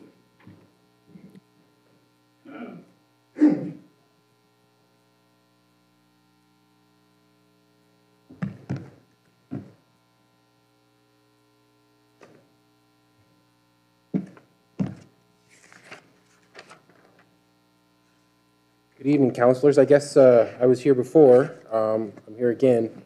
Um, You've heard about some of the homes in, in my neighborhood. Um, I'm here representing the Pueblo Alto neighborhood. I'm here representing D7. Um, And um, I don't think anybody thinks that the council is wrong in demolishing some of these process, in some of these properties, but the process just takes too, too long. Um, and the public loses its faith, and we, we, uh, we really stop believing that anybody on this council can do what they say that they're here to do. And I understand that we have a, a, um, a responsibility to commit, to protect people's property rights, but at some point, inaction, inattention, budgets, um, don't lend themselves to them being able to take care of their property and um, it needs to be put back on the market, and it needs to be rehabilitated and to serve a higher purpose for the city and county of, Al or the city of Albuquerque. Appreciate it. Tad Niemitzki, followed by David Gorgoni on Zoom.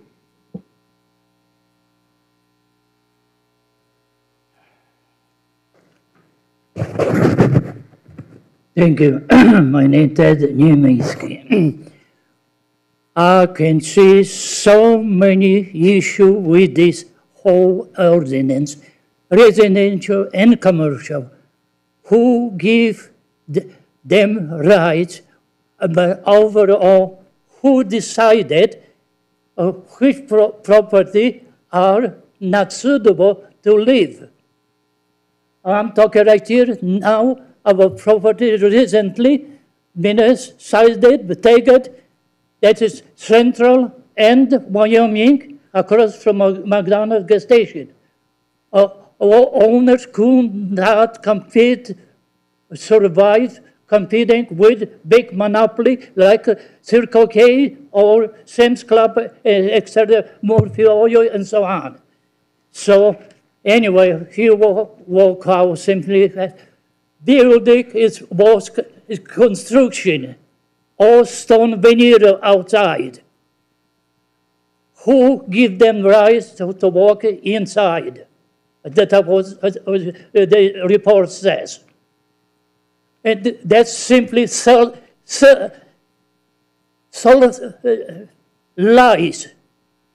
Who, uh, who was inside the uh, assess, it is suitable or not, that has happened recently when he walked out. So anyway, doors are stone all, all the way around the uh, building, one building and another building, where it was car wash. It's all locked up, boarded.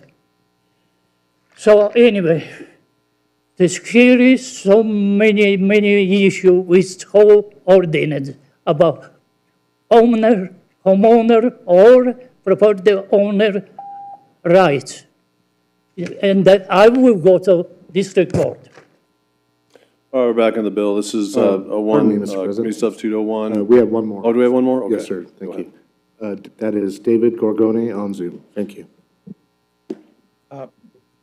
Good evening, members of City Council. Uh, I spoke once earlier, and uh, I'd like to reiterate, um, I'm in support of this, uh, these changes and, uh, and the amendments. Uh, And I think that uh, the council and uh, the zoning and code enforcement are protecting the commercial uh, property owner and the property rights of the homes. And this is something in all our quadrants. And the houses we're talking about and the commercial properties are those that have been open, broken into, or boarded up for several years. Um, and, and at that point, it can still go forward. Someone can still fix them up or uh, take ownership of them. But that doesn't seem to happen. And what I've seen in our neighborhood and uh, along San Mateo too, in a uh, strip mall, it, it was a detractant to people uh, to break in again and uh, sometimes um, it encouraged theft, fires, and uh, drug use, frankly.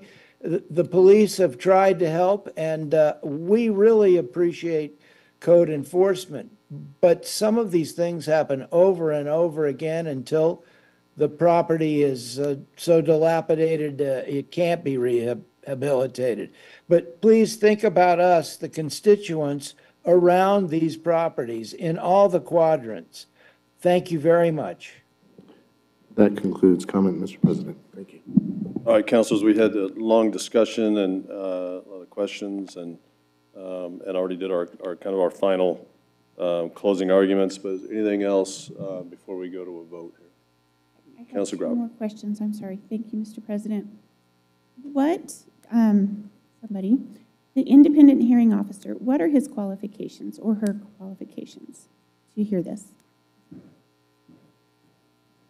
And uh, Council President, Councilor Grout, the independent hearing officer uh, pursuant to the administrative hearing rule uh, would be a licensed attorney, somebody who has uh, a lot of experience listening objectively to evidence that's presented before them, making a ruling only based on that evidence, and then writing a a coherent uh, decision that uh, is based on the proof points that are in the particular ordinance. Thank you. And follow up, um, how long does he give that right away, that um, decision? What is that turnaround? And I don't have the exact figure right in front of me, but I believe he has to issue, they usually don't rule from the bench, uh, so to speak. They, uh, they, they issue a written decision, much like LUHO does, and it would depend on the complexity of the information that they're filtering in in order to support uh, and prove that uh, their decision is based on evidence. Is, um, and But, but it would be within just a matter of a few days. a few days? Um, Yes. And then is, when, when the matter is heard before the hearing officer, is it heard in one day and that's it, or is it also extended? That also would be on a case-by-case basis. Uh, I would think that in most instances that the uh, information provided by code enforcement and building safety and the inspectors will take anywhere from, uh, uh, oh, maybe a half an hour to an hour to present, uh, depending on the witnesses we bring in. If we're bringing in AFR, which sometimes uh, we will, to talk about the danger and the fire hazard component of these properties that have had multiple fires in them. If we're bringing in APD officers to talk about the danger they face from being in these properties uh, and such, uh, then uh, we would have more witnesses than simply the building inspector to testify. So those, those may take a bit longer, yes. And then whether it's continued to a later just depends on the, the, uh, the particular case. But I would think most of them to be heard in one setting. Thank you. And this is for demolition, so you want to raze the property. It's not reconstruct. It's- Correct, It is to- correct. to raze It- it- It's, it's when you get to the tail end of a bad property that's literally uh, falling down, that we're getting dozens or even hundreds of calls on. Uh, APD calls, fire rescue calls, code enforcement calls, from neighbors, from everybody who takes care of their properties, but as, as you heard these, the young men talking earlier, they can't even walk in front of that one house by them. Uh, It's, it's, uh, it's those types of properties, yes. Thank you. Thank you.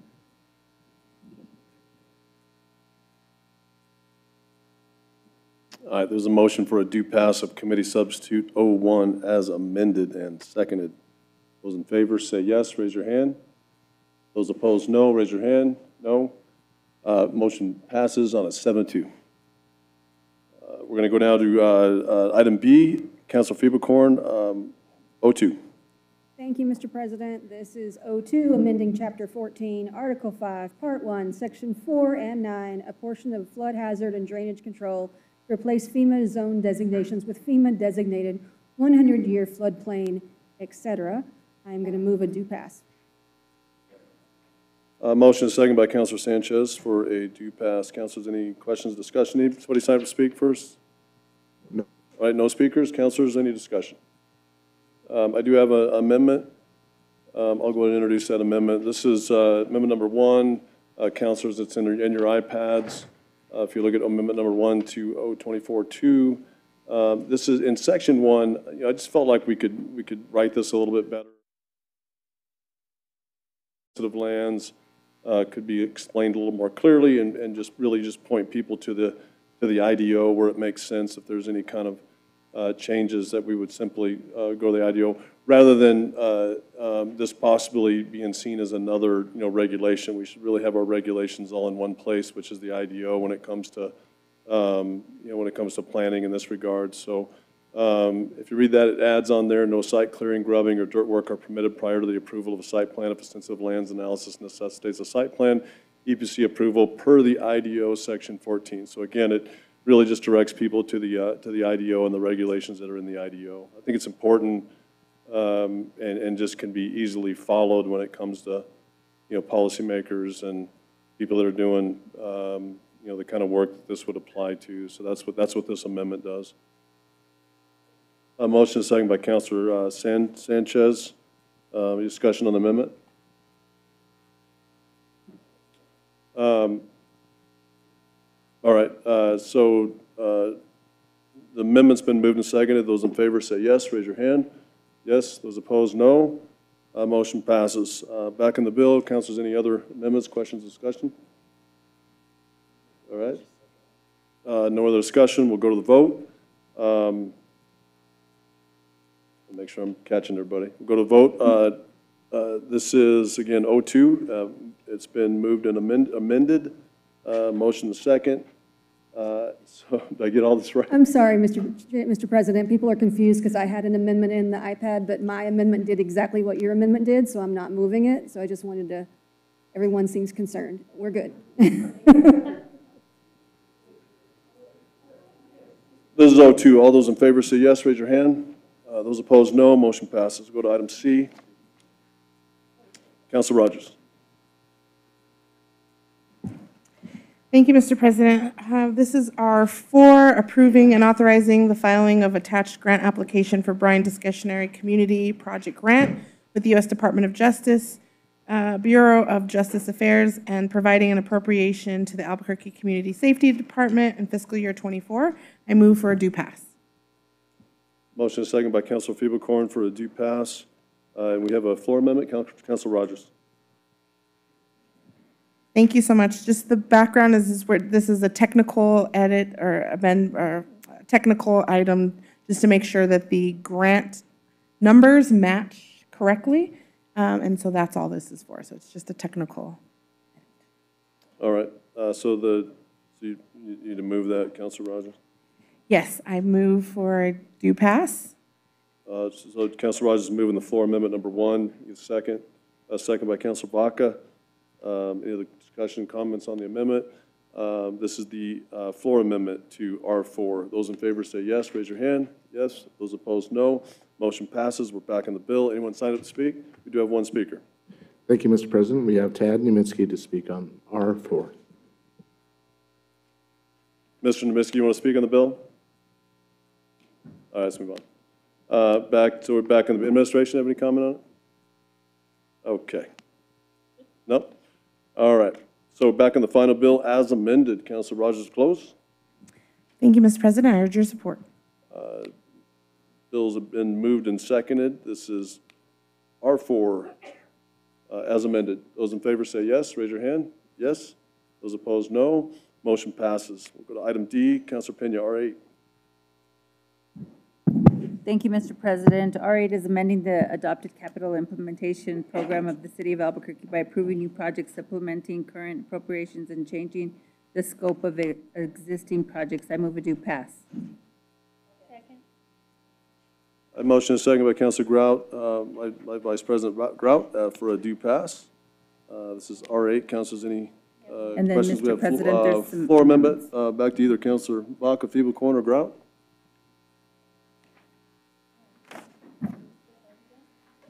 Councilor Grout. Mr. President, uh, floor amendment number one to R twenty-four eight, um, we're amending, um, on page three, after line fifteen, add in the following. Um, and this is just moving funding around for, uh, the WEC, um, outdoor recreation space. Um, I won't go through it all, but the explanation at the bottom, uh, the amendment proposes moving old unused GO funds into the WEC outdoor space capital project and requires the um, admin- administration to report on the expenses under the program, including a comprehensive breakdown of all costs and purpose of the expense. We need a second. Moved and seconded by Moved and seconded by Councilor Rogers, by Councilor Feeble Okay, this is floor amendment number one. Questions on, or discussion on floor amendment number one? Uh, That's been, the amendment's been moved and seconded. Those in favor, raise your hand, say yes. Yes. Yes, those opposed, no. Motion passes. Back in the bill. Councilor Grout? Oh, we got a bunch of amendments. All right, go for it. Councilor Peña. Thank you, Mr. President. This is floor amendment number two, and this is a, this amendment increases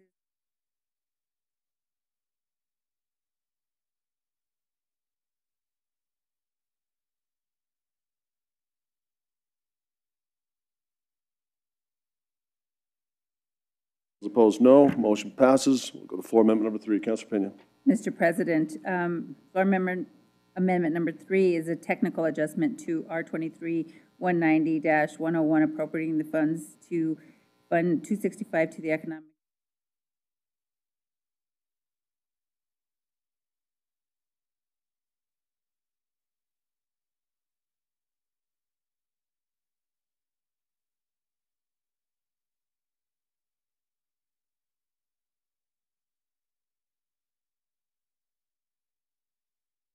Um, Discussion, those in favor say yes, raise your hand. Yes.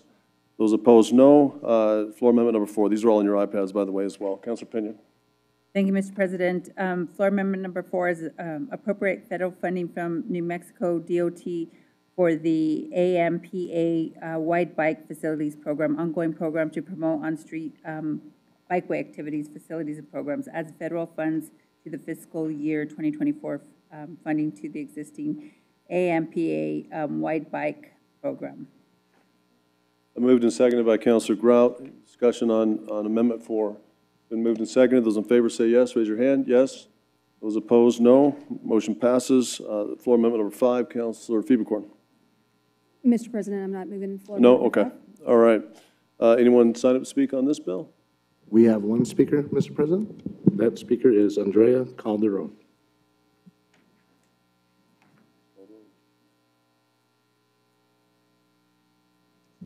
Hi, sorry, I'm speaking again. Hate to belabor the meeting. I know you all have been here for a minute, but um, I just wanted to, um, you know, I, this is a really interesting time to see sort of like an, um, uh, some changes to a CIP bill that had already been um, approved previously. Um, something that, you know, um, I keep hearing about time and time again in my community. I live on the Fourth Street corridor is, you know, the lack of places for people to go use the bathroom, right? And last council meeting, you all passed the human feces bill, which really, we really appreciated. Um, it was a hundred thousand dollar allocation for something that's gonna last until July, um, which is a great start, right? Um, but I think that if we, um, are making some changes to, um, capital projects, I would really encourage that we look at more permanent solutions, um, to the issue of human feces. We're in the budget cycle right now. I think this is a really great opportunity to think about, you know, what that could look like infrastructure-wise, and whether that is, um, you know, actually putting in public toilets. There are some designs that include self-cleaning toilets that are really interesting, or actually funding a nonprofit to have like mobile units um, to actually provide those facilities um, in movable trailers along with showers and clothes washing stations, which I think would provide a more um, sanitary um, environment in general, and then just support those um, in need. Um, I think those kind of facilities would be helpful for tourists, for students, for folks that are taking the bus regularly, um, and just you know, I mean, honestly, my friends, you know, I've had a couple of pregnant friends. They can't find anywhere to pee. You know what I'm saying? You're, if you're holding a baby and you're eight months pregnant, you need to go to the bathroom.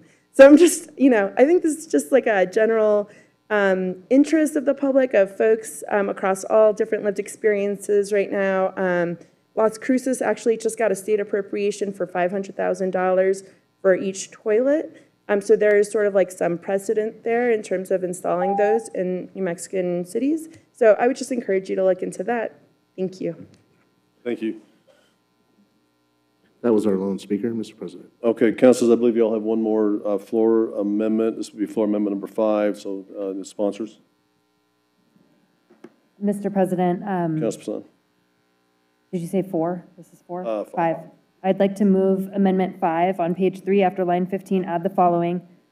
Uh, The following programs and projects are designated solely for the Youth Navigation Center campus and/or youth shelter in Albuquerque. Expenses related to this property are permitted without prior approval, provided they are exclusively for this location. However, this authorization does not encompass the conversion of the property into transitional housing solely for the purpose of meeting the 5,000 units in five years goal.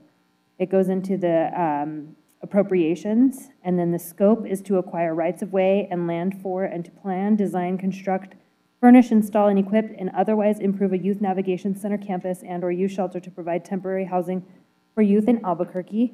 We wanted to make sure to clearly define the use of this specific program within the city's CIP for the purchase of this particular property and all the expenses that have been encumbered and, and accumulated to date and that we will keep continuing to accumulate for this specific vision, property, and project.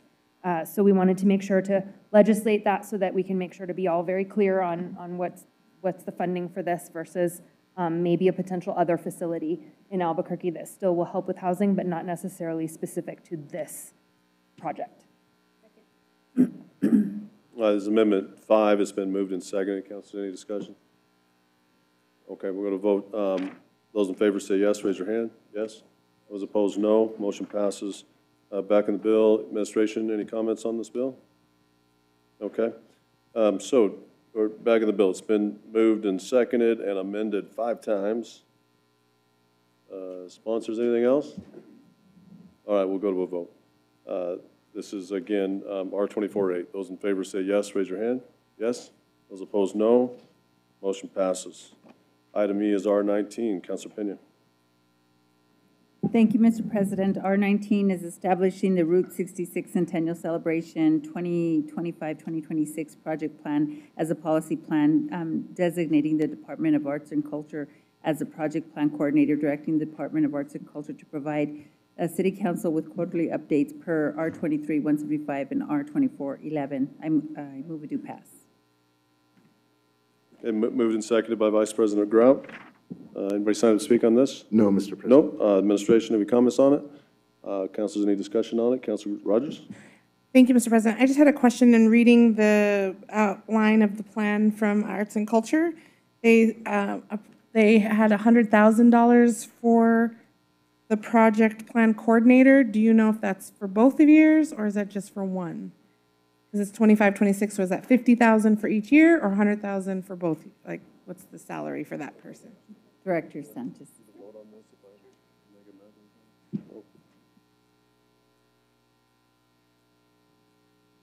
Council President, Councilor Rogers, um, it's about $100,000 per year for project management. That includes one full-time staff who's dedicated to all the projects, as well as some supporting contracts for different components of, you know, all the different things that are going on.